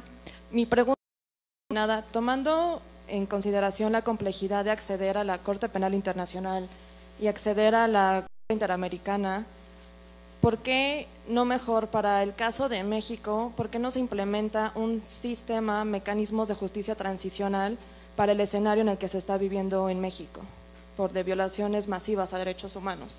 Y en su caso, ¿qué tan aplicable y cómo se podría llegar a implementar esos mecanismos? Okay. Se complementa con el, los puntos de Javier, ¿no? de otras alternativas. Si, si pueden pasar el...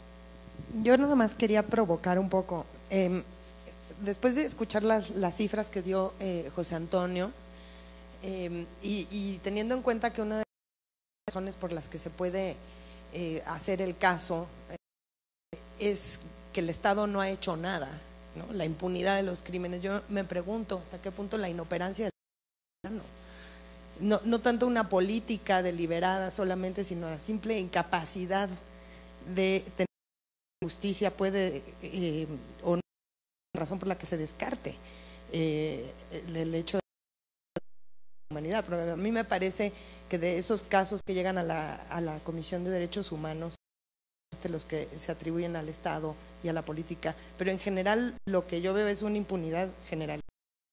De, de, o sea, ¿cuántos casos se juzgan? No solo de eso, sino de nada. Básicamente, entonces aquí se podría argumentar que no es deliberada, sino que es pues simplemente que, que no funciona el sistema de justicia en ningún ramo eh, del país y en ese sentido, eh, pues no sé si debilita el argumento o, lo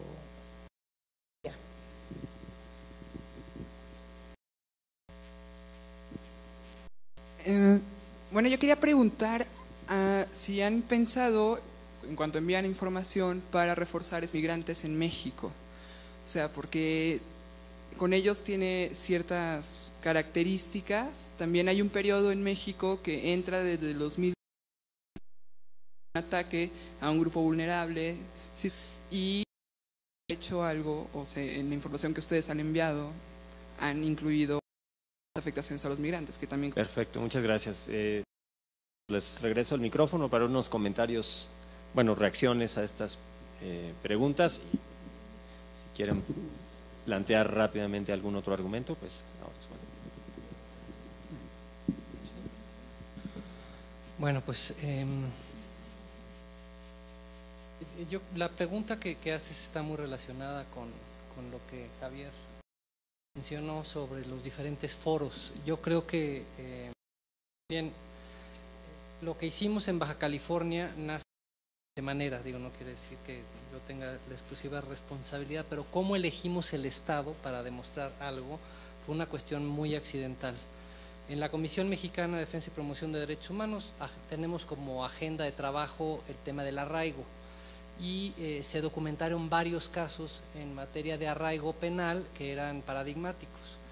Eh, unos porque en el, eh, fueron arraigos dictados en cuarteles militares, otros porque eran arraigos dictados contra mujeres, otros porque en los arraigos se había torturado a las víctimas. Estos eran casos como muy paradigmáticos. Y cuando llego a la, a la, a la, a la, comisión que empezamos a ver los casos, pues resulta que lo más importante de las cosas traigo, sino que había el componente de tortura, me daba cuenta que la mecánica de la negativa de la información, eh, la incomunicación, el lugar a los que los llevaban, que eran dos cuarteles militares, cómo negaban la información y cómo se defendía en el contexto de las investigaciones de la Comisión Nacional de Derechos Humanos víctimas más expedientes. Y llegamos a un universo de 95 casos. Y ahí vemos que en los 95 casos fue como, como del libro, decir, haz A, detén arbitrariamente, ponte una capucha, ve vestido carro en un auto de civil, eh, los, llevas a tal lugar, ahí se les tortura. Todo era igual, igualitos los casos. Una cosa que es eh, alarmante, la naturaleza de los casos. Casualmente, los jefes eh, de la zona, de la región militar, es el mismo. Es una cosa interesante. Podemos identificar que no nada más había un patrón, mismo mando responsable, no nada más en la, en también en la autoridad eh, en estos hechos. Entonces, pues estaba muy claro nuestro ejemplo para, para quienes estábamos involucrados en esto. ¿Dónde va a ser? Pues está Baja California, lo tenemos, clarito. Eh, además, estos casos, de los, digamos, tres casos que tienen una multiplicidad de víctimas, uno de esos está en el Comité contra la Tortura, el otro, el de los 25 policías, en la Comisión Interamericana de Derechos Humanos, y eh, el otro lo vamos a presentar humanos, es decir, eh, los mecanismos de derechos humanos están siendo utilizados. Y el utilizar los mecanismos de derechos humanos no te excluye de la posibilidad de utilizar la que es llegar a los lugares en donde nunca llegues de la justicia. Entonces sí, eh, decimos que lo que queremos es que se transforme la voluntad política de justicia de transición, si se les puede llamar así, medidas para enfrentar el enorme violaciones graves de derechos humanos y que se lleve a juicio a los responsables de, de las torturas, de las desapariciones y de las ejecuciones.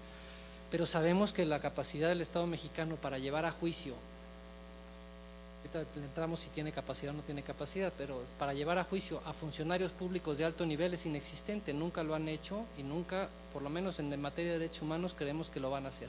Y por eso el acicate o la presión de que la Corte Penal Internacional pueda llegarlo a, hacer es algo que es útil en el contexto de las diferentes que tenemos. Es decir, sería demagógico decir yo quiero que lleven a la juicio a los responsables, porque no es exclusivamente los que estamos buscando.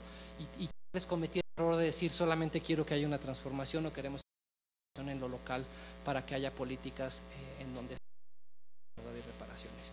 Lo que tenemos en los 30 que nosotros representamos a las víctimas es que no hay ningún servidor público penal, eh, ni uno solo. Recomendaciones de la CNDH con funcionarios con fe pública que acreditaron nombres de las eh, eh, personas que participaron en la unidad de inteligencia en el batallón que los detuvo, del militar, en los médicos militares que participaron, en los ministerios públicos que estuvieron presentes en las torturas, en los defensores de oficio que estuvieron presentes en las torturas y en el Ministerio Público que participó en las acusaciones de estas eh, con pruebas fabricadas bajo la cuestión de la tortura. Entonces, la Corte Penal Internacional sirve para atacar ese componente que, como ya se ha dicho, es los más altos responsables. México, eso sí, estoy convencido, en el hipotético caso que pudiera y quisiera, eh, no, no, no, no, llegaría a esos niveles de la más alta responsabilidad.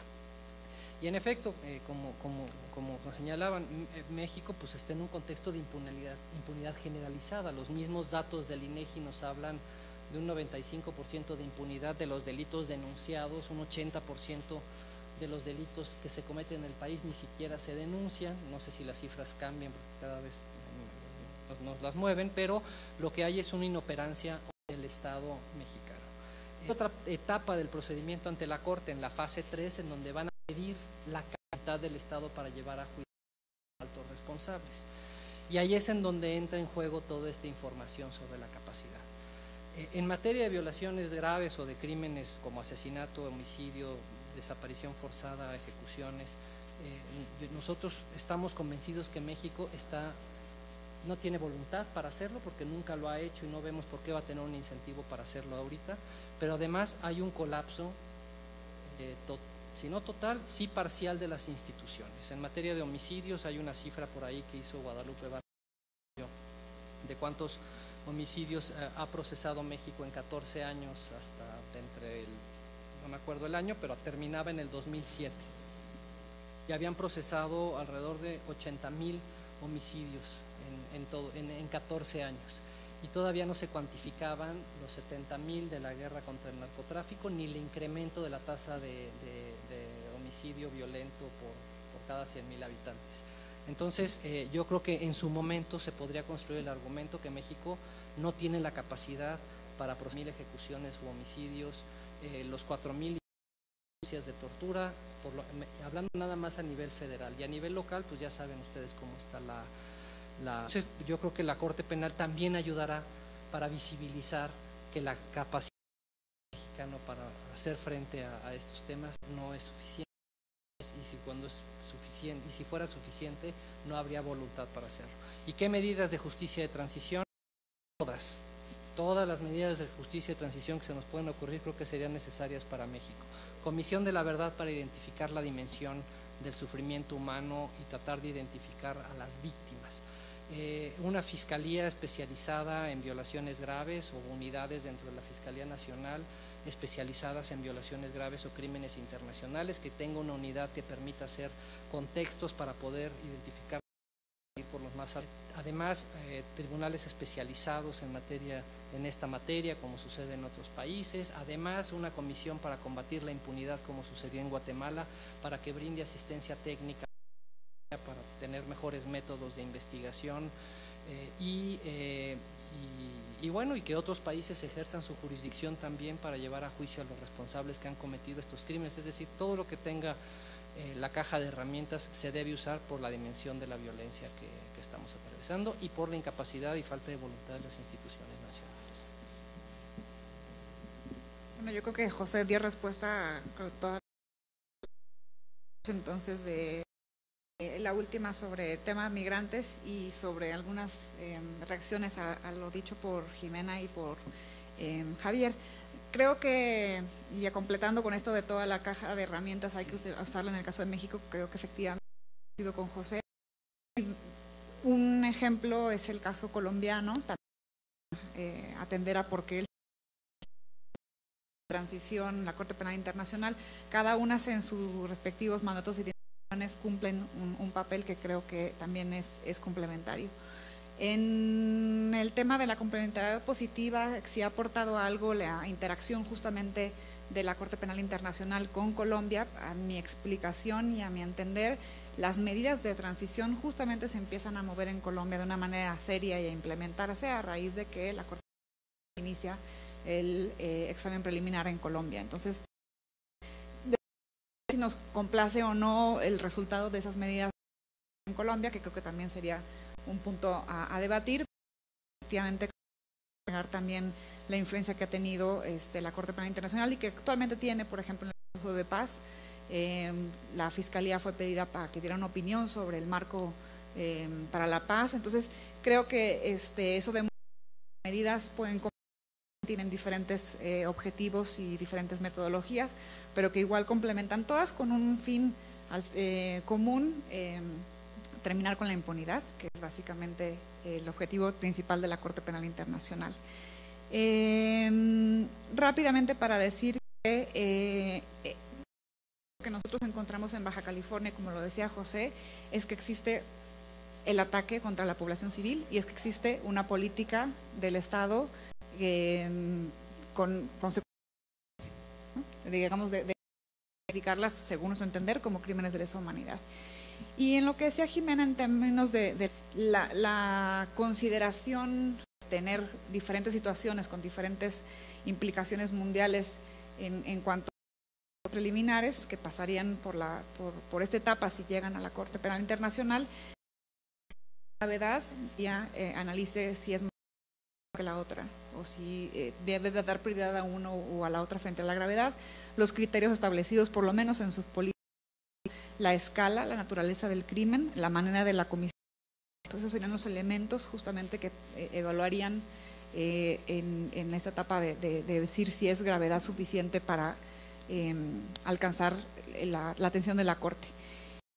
En cuanto a lo que mencionaba Javier del interés de la justicia, yo como este eh, requisito del análisis preliminar ejercido. Lo que se ha ejercido en, Colombia ha sido eh, la admisibilidad, o sea, lo que está atorando en, Colombia es la complementariedad, es decir, si el Estado está haciendo las acciones necesarias, porque tienen que coincidir con las mismas acciones que está o las mismas, causas que está la Corte Penal Internacional posiblemente investigando. Entonces, eso es lo que está atorando realmente en Colombia, si las acciones de este, justicia transicional, si los juicios que están llevando a cabo por eh, justicia y paz, si los juicios de parapolíticos son realmente lo que la Corte Penal Internacional aún tendría que ver, y desde mi punto de vista este, todavía quedan ahí este, mayores responsables por eh, complementar, digamos, la acción del Estado y no necesariamente el interés de la justicia. A, nosotros como organizaciones civiles nos interesa, o sería creo que interesante, que se diera una determinación en ese sentido, porque nos abriría la puerta para que eh, las víctimas pudieran dar su opinión frente a los jueces. Sería la, es la única realmente manera en cual la Fiscalía tomando una decisión de no este, iniciar abría la puerta a que la sala de cuestiones preliminares pudiera intervenir y escuchar a las víctimas y entonces tomar una decisión si efectivamente este es un criterio que la Fiscalía de, en una, ojalá no sé cuándo es que esta etapa se pueda este, pronunciar control realmente cuando la Fiscalía decide no tomar la decisión, o decide, decide tomar más bien decide no investigar o no empujar una investigación cuando este, se da entonces el, el control judicial. Bueno, no sé si quieren agregar algo más. Perdón, yo solamente quiero darle las gracias a, Emily y a Case Matrix